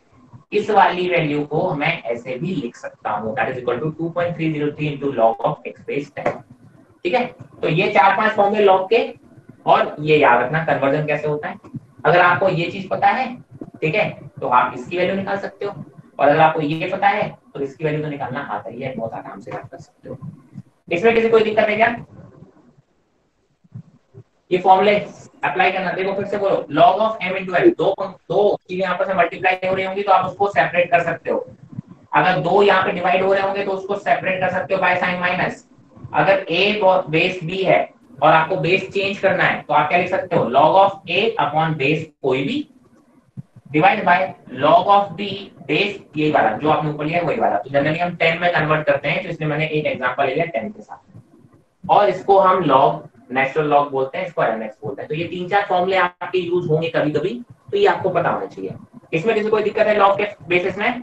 नो सर नो ये सर लॉग क्या ये बहुत इंपॉर्टेंट है। ये लॉग क्या है? ये आप ज़रूर समझना कि लॉग का मतलब क्या होता है? This meaning this meaning you should know कि लॉग का मतलब क्या है? सबसे ज़्यादा दिक्कत आपको यहाँ आएगी इसमें। क्वेश्चन अगर ये समझ में आ गया तो आपका प्रॉब्लम बन जाएगा। ठीक है?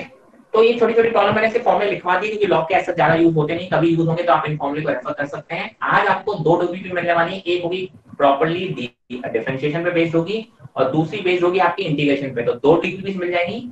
डिफरेंशिएशन वाले में शायद 20 क्वेश्चन होंगे इंटीग्रेशन वाले में शायद 10 क्वेश्चन होंगे। 30 क्वेश्चन की डीपीपी आपको मिल जाएगी। ऑनलाइन ऐप पे आपको सॉल्व करनी है नेक्स्ट क्लास में हम डिस्कस करेंगे। जो लोग नए आए हुए हैं, पहली क्लास है, उनको शायद ऐप के बारे में पता होगा। मैं फिर से बता देता हूँ कि हमारी एक ई गाइड्स करके ऐप है। आप उसे प्ले स्टोर से डाउनलोड कर सकते हैं। उसमें आप इनरोल कीजिए रजिस्टर कीजिए खुद अपने रजिस्टर्ड नंबर से। और आप वो सारी चीज़ें एक्सेस कर सकते हैं, जैसे स्टडी मटेरियल जैसे डेली प्रैक्टिस प्रॉब्लम्स ये सब इन्फॉर्मेशन वैसे आपको मिल भी गई होगी और इसमें अगर आपको कोई भी दिक्कत है या आपको पता करना है कि कहाँ कैसे करना है तो आप अपने एकेडमिक्स टीम को कॉल करके, कोई ना कोई कॉन्टैक्ट नंबर आपके पास होगा, उनको कॉल करके आप डिटेल्स ले सकते हैं। वहीं पे आपको फिर इसकी डीपीपीज मिल जाएँगी, वो डीपीपीज आप सॉल्व करके लाएँगे नेक्स्ट क्लास में वो डिस्कस होंगी। क्लियर है? बीस तीस क्वेश्चन है, ज़्यादा नहीं है। चलिए, कोई डाउट है आज की पूरी क्लास में तो पूछ लो। सर अगर डाउट नहीं है तो जल्दी से सब लोग बता दो कि सर सब समझ में आ गया। एक बार अनम्यूट करो सब लोग बोल दो एक बार। सब समझ में आ गया। मुझे तसल्ली सब आ गया सब। चार आवाज़ आएँगे मेरे पास।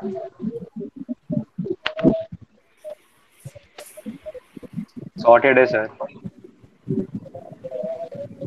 नहीं है सर